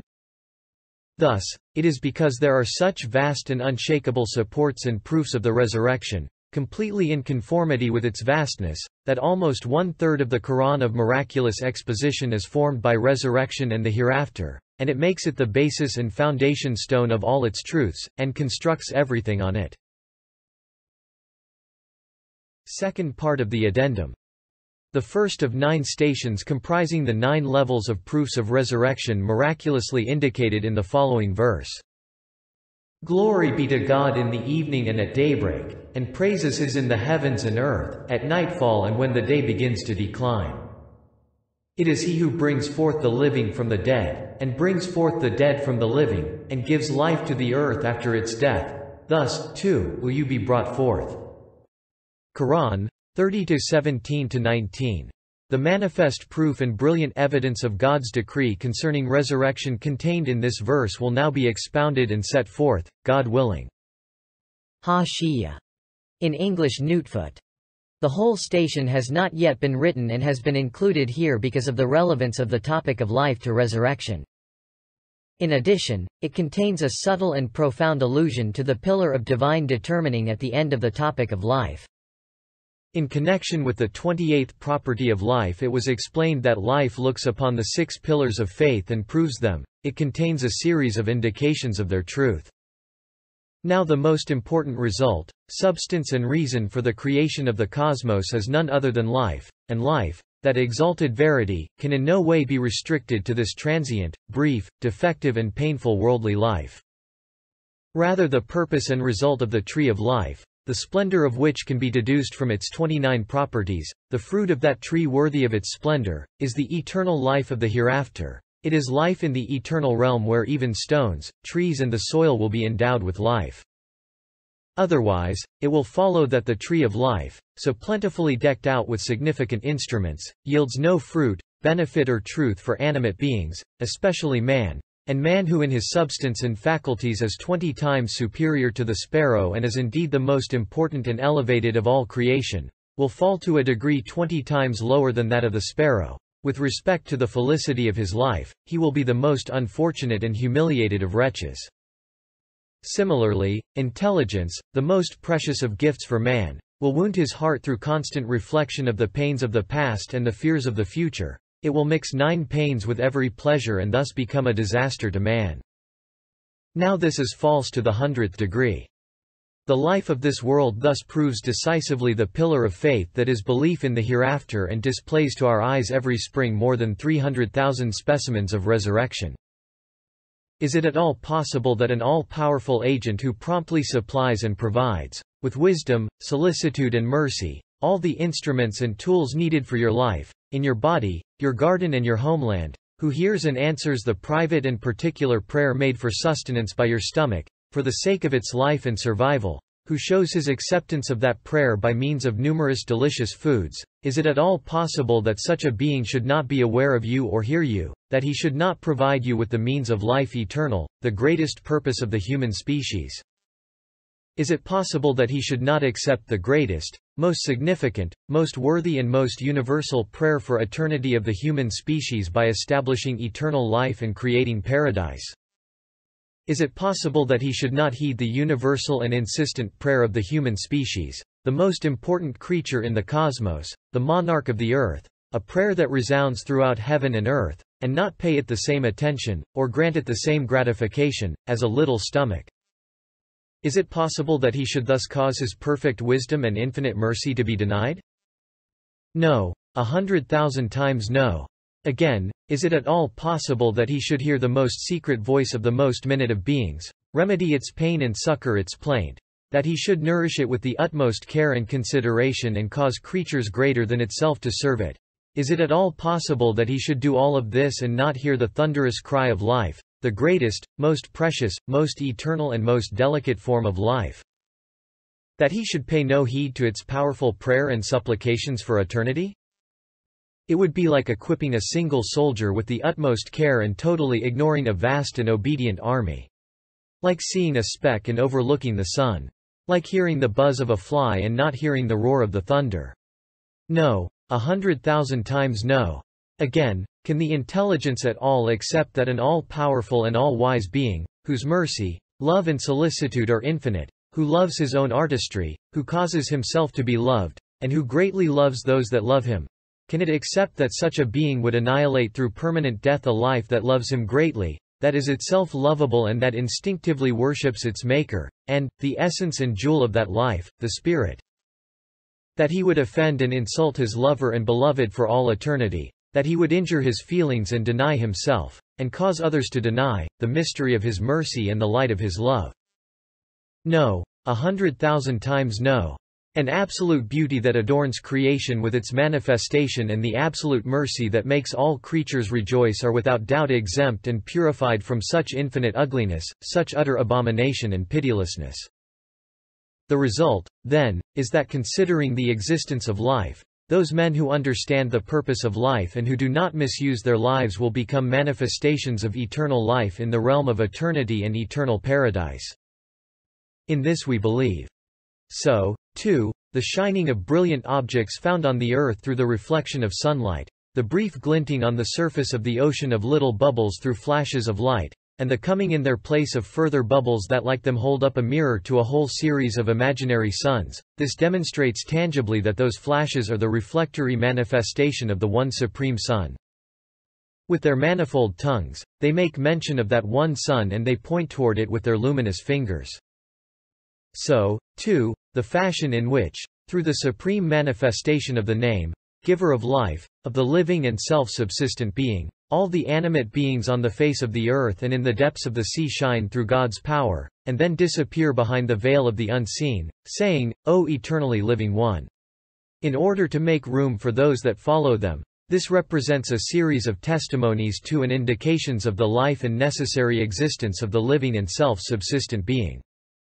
Similarly, all the proofs that bear witness to the divine knowledge the traces of which are visible in the ordering of all beings, all the evidences that establish the existence of a power working its will throughout creation, all the arguments that point to a volition and purposefulness dominating the ordering and administering of the cosmos, all the signs and miracles that attest the messengerhood of the prophets, the means of dominical speech and divine revelation, and the indications bearing witness to the seven attributes of divinity, all of them point to, testify to, and indicate unanimously the life of the living and self-subsistent being. For if the faculty of vision is present in a thing, there must also be life. If there is hearing, this too is a sign of life. If there is speech, this also points to the existence of life. Similarly, attributes the existence of which is proven and self-evident by virtue of their traces throughout the cosmos, Attributes such as absolute power, all-embracing will, and comprehensive knowledge, bear witness with all of their proofs to the life and necessary existence of the living and self-subsistent being. They attest his everlasting life, one shadow of which is enough to illumine the whole of the cosmos, and one manifestation of which suffices to give life to the hereafter, together with all of its particles. The divine attribute of life is also connected with the pillar of belief in the angels, and proves it by way of indication. For the most important of all goals of the cosmos is life, and animate beings constitute the most widespread form of creation, with its specimens multiplied on account of their value. they constantly animate the hospice of this world with the coming and going of their caravans. Further, the globe, which is filled with so many species of animate beings, is being constantly emptied and refilled as these various species are renewed and multiplied, and animate beings are created in multiplicity even in the vilest and most corrupt substances, so that there is, as it were, a constant resurrection of microbes. Finally, consciousness and intellect, which are the distilled essence of life, and the spirit, which is its subtle and stable substance, are also created everywhere on the globe in the utmost multiplicity, so that it is as if the globe were animated and caused to rejoice by life, intellect, consciousness and spirit. If we take into consideration all of the foregoing, it is totally impossible that the heavenly bodies, which are subtler, more luminous, greater and more significant than the globe, should be dead, rigid, lifeless, and dumb. There must, then, exist and be provided with the property of life, conscious and animate beings that animate the skies, the suns, and the stars, bestow upon them their vitality, manifest the result of the purpose for the creation of the heavens, and receive address from the glorious Creator. These creatures, of a nature suited to the heavens, are none other than the angels. Similarly, the innermost essence of life symbolically proves the pillar of belief in the prophets. For the cosmos was created for the sake of life, and life is in turn one of the supreme manifestations of the living, self-subsistent and eternal one. It is one of his most perfect designs, one of his most beauteous arts. Further, the eternal life of God shows itself only through the sending of messengers and the revelation of books. If there were no books or prophets, then eternal life would remain unknown. When a man speaks, he is recognized to be alive. Similarly, it is the prophets and revealed books that make manifest the words and decrees of the being who, from behind the world of the unseen that is veiled by the cosmos, speaks, talks, and emits his commands and prohibitions. Just as the life existent in the cosmos bears decisive witness to the necessary existence of the living and eternal one, so too does it point to and indirectly confirm the pillars of belief in the sending of messengers and the revelation of scriptures, for these are the rays, the manifestations, and the relations of that eternal life. And especially the messengership of Muhammad, peace and blessings be upon him, and the Quranic revelation, since they are like the very spirit and intellect of life, their veracity is as indisputable as the existence of this life.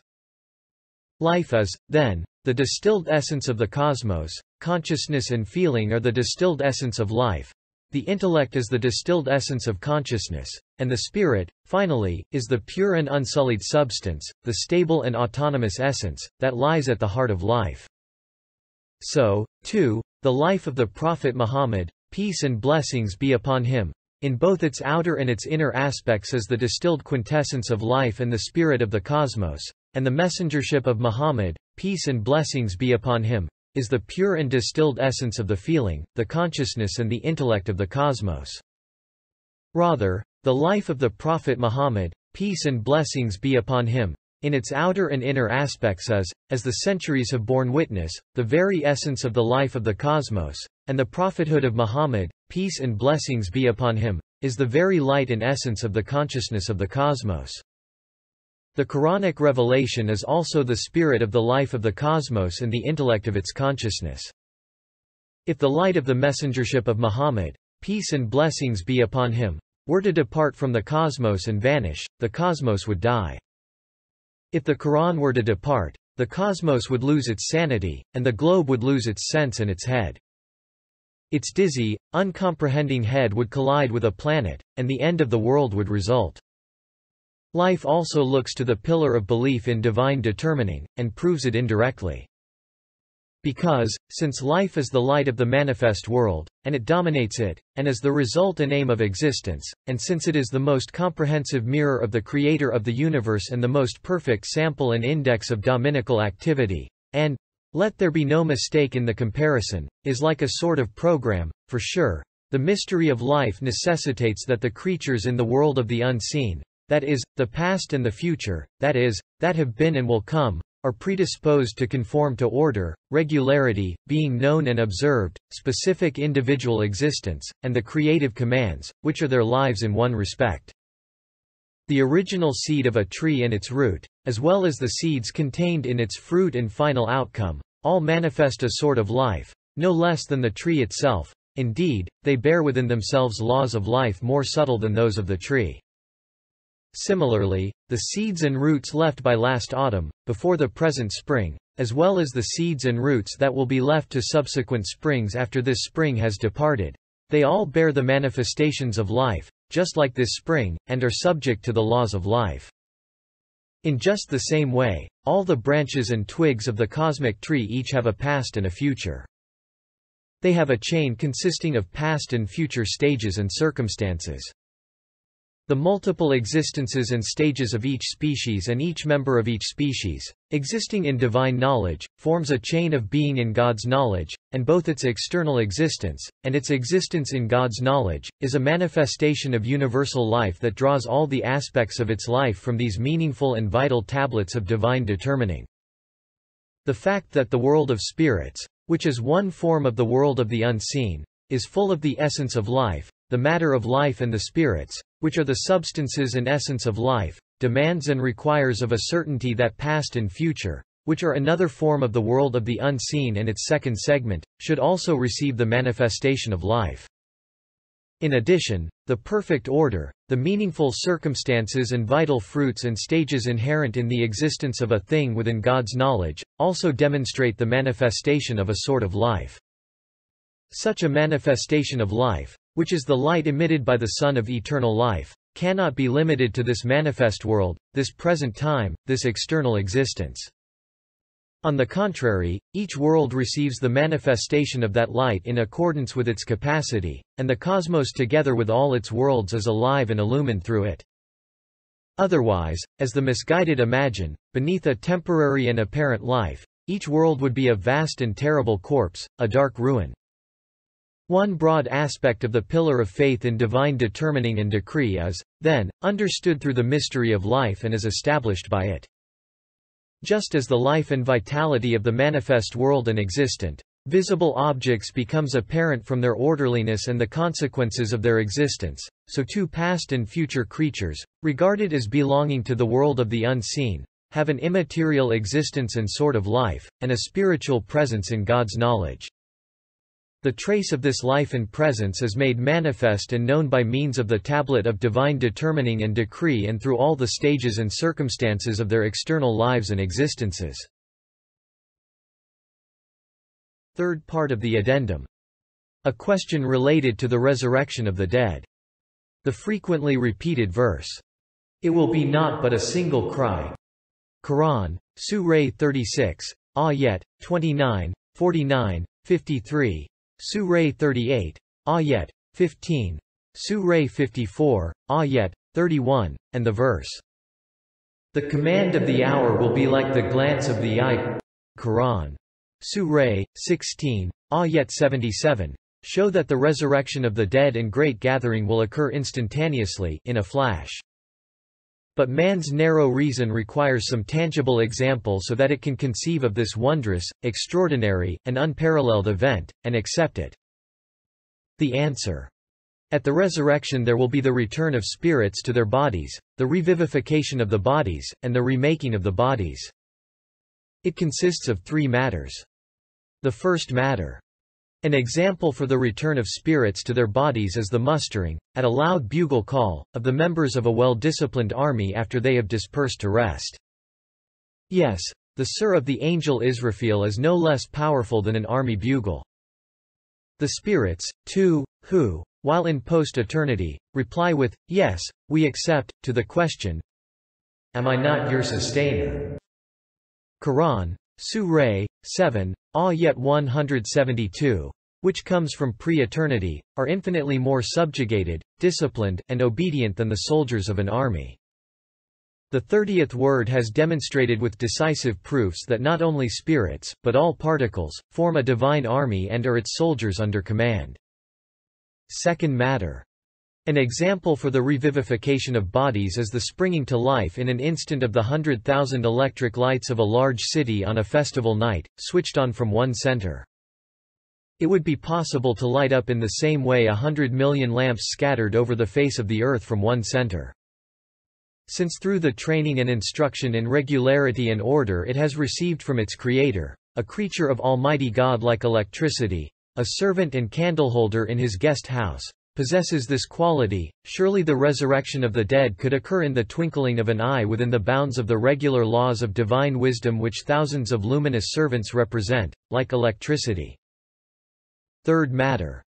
An example for the remaking of bodies instantaneously is the perfect remaking within a few days of all the trees in the spring, which are far more numerous than all humanity, together with all their leaves, in exactly the same way as those of the previous spring, and the bringing into being, again like those of previous springs, all the blossoms, fruits and leaves of the trees with the speed of lightning, and the sudden awakening of the uncountable numbers of seeds, grains, and roots, which are the source of the spring, and their unfolding and being raised to life, and reflecting the meaning of, resurrection after death, the sudden raising to life at a command of the upright skeleton-like corpses of the trees, and the reanimation of the innumerable members of all species of small animals, and the revivification of all the sorts of flying insects, particularly those which, continually cleaning their faces, eyes, and wings, remind us of our ablutions and cleanliness, and caress our faces, the resurrection and remaking of all the members of this tribe within a few days every spring before our very eyes together with all the other species, despite being greater in number than all mankind since the time of Adam, provides not one example of the remaking of all human bodies at the resurrection, but thousands.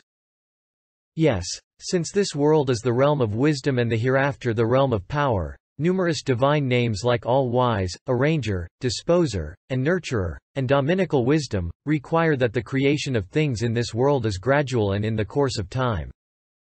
In the hereafter, however, power and mercy will be manifested more than wisdom, and there being no need for matter, time, and waiting, things will be made instantaneously alluding to the fact that things which are made here in a day or in a year will be made in the hereafter in an instant or a flash, the Quran of miraculous exposition states. The command of the hour will he like the glance of the eye, or briefer. Quran, Surah, 16, Ayat 77. If you want to be as certain about the occurrence of the resurrection of the dead as you are about the arrival of next spring, Study the tenth and twenty-ninth words carefully, which are about this, and you will see. If you do not then believe that it will occur as you believe the coming of spring, come and stick your finger in my eye. A fourth matter. The death of the world and doomsday. The sudden collision with this globe, our guesthouse, at a dominical command, of a planet or comet, could wipe out this dwelling place of ours. Like the destruction in a minute of a palace the building of which had taken ten years. Fourth part of the addendum. He said, Who shall give life to decaying homes? Say, He shall give them life who first gave them life, and He is all-knowing concerning all creation. Quran, Surah, 36, Ayat 78. As was illustrated in the third comparison in the ninth truth of the tenth word, some personage may one day summon together before your eyes a great army. If someone were then to say, that personage is able to call together the troops in his army, who had dispersed to take rest, and assemble them again in battalions, and you were to say, I don't believe it, you know well how lunatic would be your denial. So too, an all-powerful and all-knowing being who out of nothing recorded and put in place, with the command of, be. And it is, all the particles and subtle aspects of the bodies of all animals and other animate beings, as if they were an army with the utmost orderliness and wise equilibrium, and who creates each century, or rather each spring, the hundreds of thousands of different species and groups of animate beings that populate the face of the earth, each like an army, such a being can gather together, with one blow on the trump of Israfil, all the fundamental particles and original components that enjoy mutual acquaintance through joint submission to the order of the body that corresponds to a battalion. Were you to say, how can this be? Or consider it unlikely, it would be idiotic lunacy. It sometimes happens in the Quran that, in order to impress upon the heart the wondrous deeds he will perform in the hereafter and to prepare the mind for acceptance of them, God Almighty mentions the wondrous deeds he performs in this world as a kind of preparation. Alternatively, he may sometimes mention the wondrous deeds he will perform in the future and the hereafter in such a fashion that we are convinced of them by analogy with the similar deeds we observe in this world. One example is furnished by the verse, Has not man seen that we created him from a drop of sperm? And then he becomes an open disputer. Quran, Surah 16, Ayat 4. And the remaining verses of the same surah.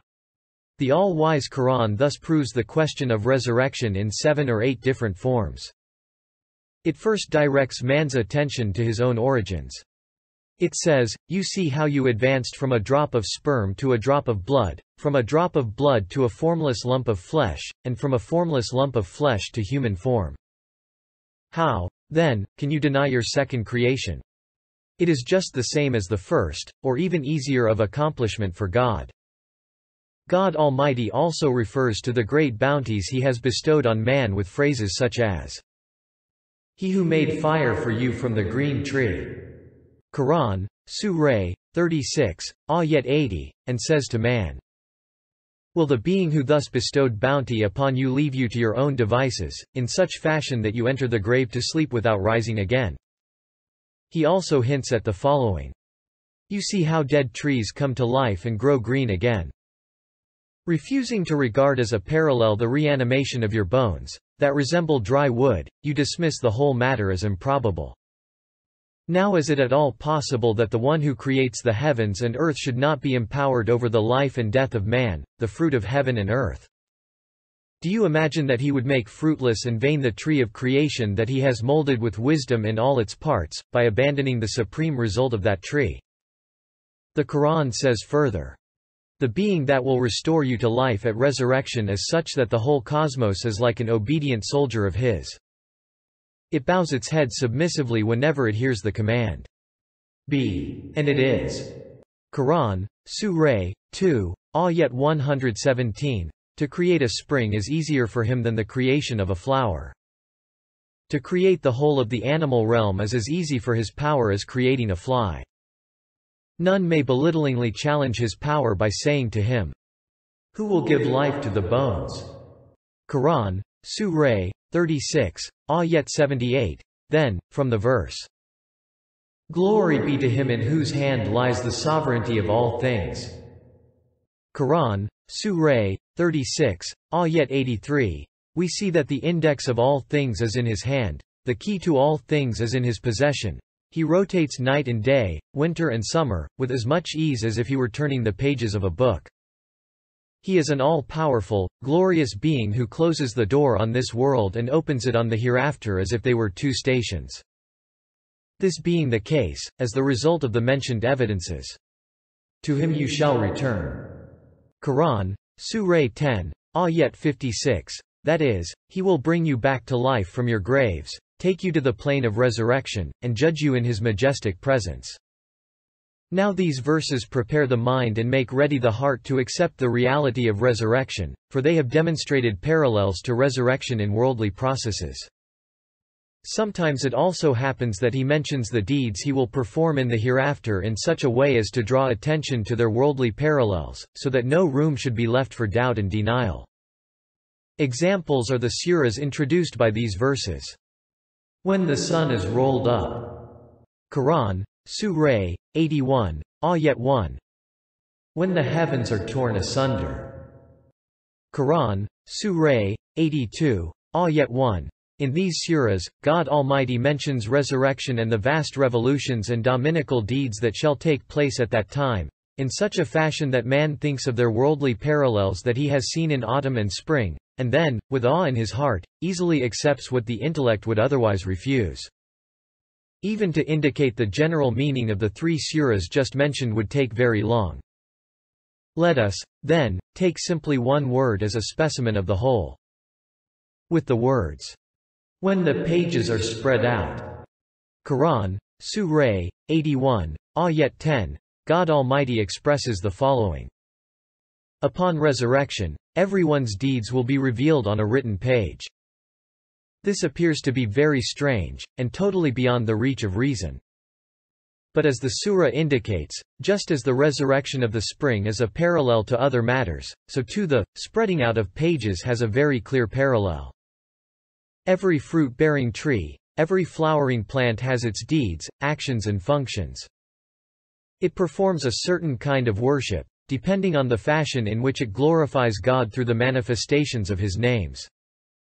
Now all of its deeds and the record of its life are inscribed in all the seeds that are to emerge next spring in another plot of soil. With the tongue of shape and form, the seeds make eloquent mention of the origins of those deeds, and spread out the page of deeds together with branch, twig, leaf, flower and fruit.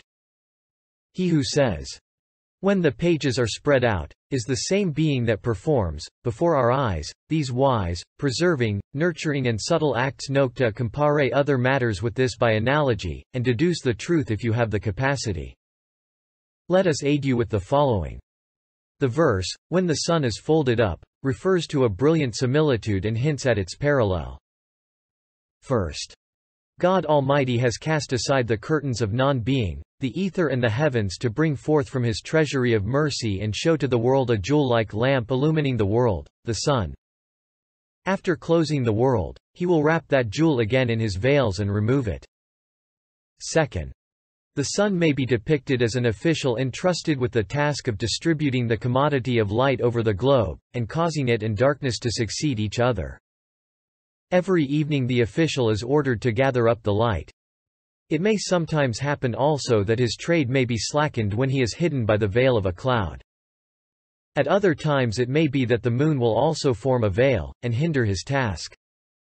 Now just as that official has his goods and ledgers gathered up for inspection, so too he will one day be relieved of his duties.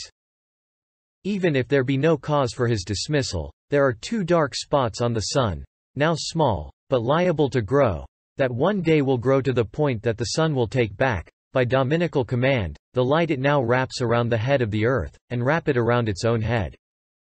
It will then be told, Come, your task on earth is now complete. Go to hell, and burn there those who have worshipped you and thus mocked with faithlessness an obedient servant like you. With its own dark and scarred face, it will read out the decree, when the sun is rolled up. Fifth part of the addendum. The 124,000 prophets, who are according to explicit prophetic tradition the choice part of humanity, have unanimously and with one accord reported, partly on the basis of direct vision and partly on the basis of absolute certainty, that the hereafter exists and that all beings will be taken to the hereafter as the Creator has firmly promised.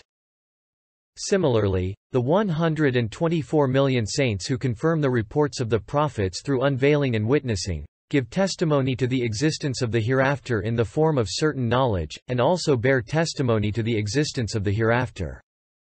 All the names of the all-wise maker of the cosmos also necessitate the existence of an eternal realm through the manifestations they display in this world. The existence of the hereafter is furthermore necessitated by the infinite eternal power, the unlimited and exact everlasting wisdom, that revives every spring the countless dead trees scattered all over the earth with the command of, be. And it is, thus making of them manifestations of, resurrection after death, and that resurrects 300,000 different species of the various groups of plant and nations of animals, as hundreds of thousands of specimens of the supreme resurrection. The existence of the hereafter is also necessitated by an eternal mercy and permanent grace that sustains in wondrous and solicitous fashion all animate beings that stand in need of nurture, and that display each spring, in the briefest of periods, infinite different varieties of adornment and beauty. Finally, there is the self-evident proof and indication given by the intense, unshakable, and permanent love of eternity, yearning for immortality and hope of permanence that are lodged in man, the most beloved creation of the Maker of the cosmos, and whose concern with all the beings in the cosmos is the greatest. All of the foregoing so firmly prove that after this transient world there will be an eternal world, a hereafter, a realm of felicity, that we are compelled to accept the existence of a hereafter as indisputably as we accept the existence of this world. Hashiye. In English footnote. It can be realized from this comparison how easy it is to make a positive affirmation and how difficult to make a denial and negation. If, for example, someone should say, there exists somewhere on this earth a wondrous garden containing canned milk, and someone else should say, there is not, the affirmer need only point to the place of that garden or show some of its fruits in order to prove his claim. The denier, by contrast, will have to inspect and display the whole world in order to justify his negation.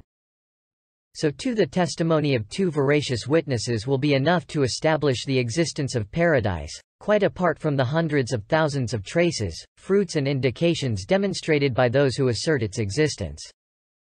Those who deny it must examine, explore and sift the infinite cosmos and infinite time before they can prove their denial and demonstrate the non-existence of paradise. So, O aged brothers of mine, understand how firm is belief in the hereafter.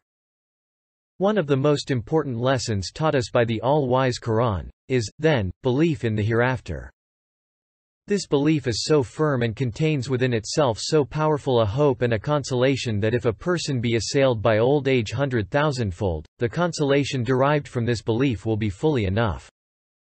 Saying, Praise be to God for the perfection of belief, we old people should rejoice in old age. You can follow our future videos by subscribing to our channel.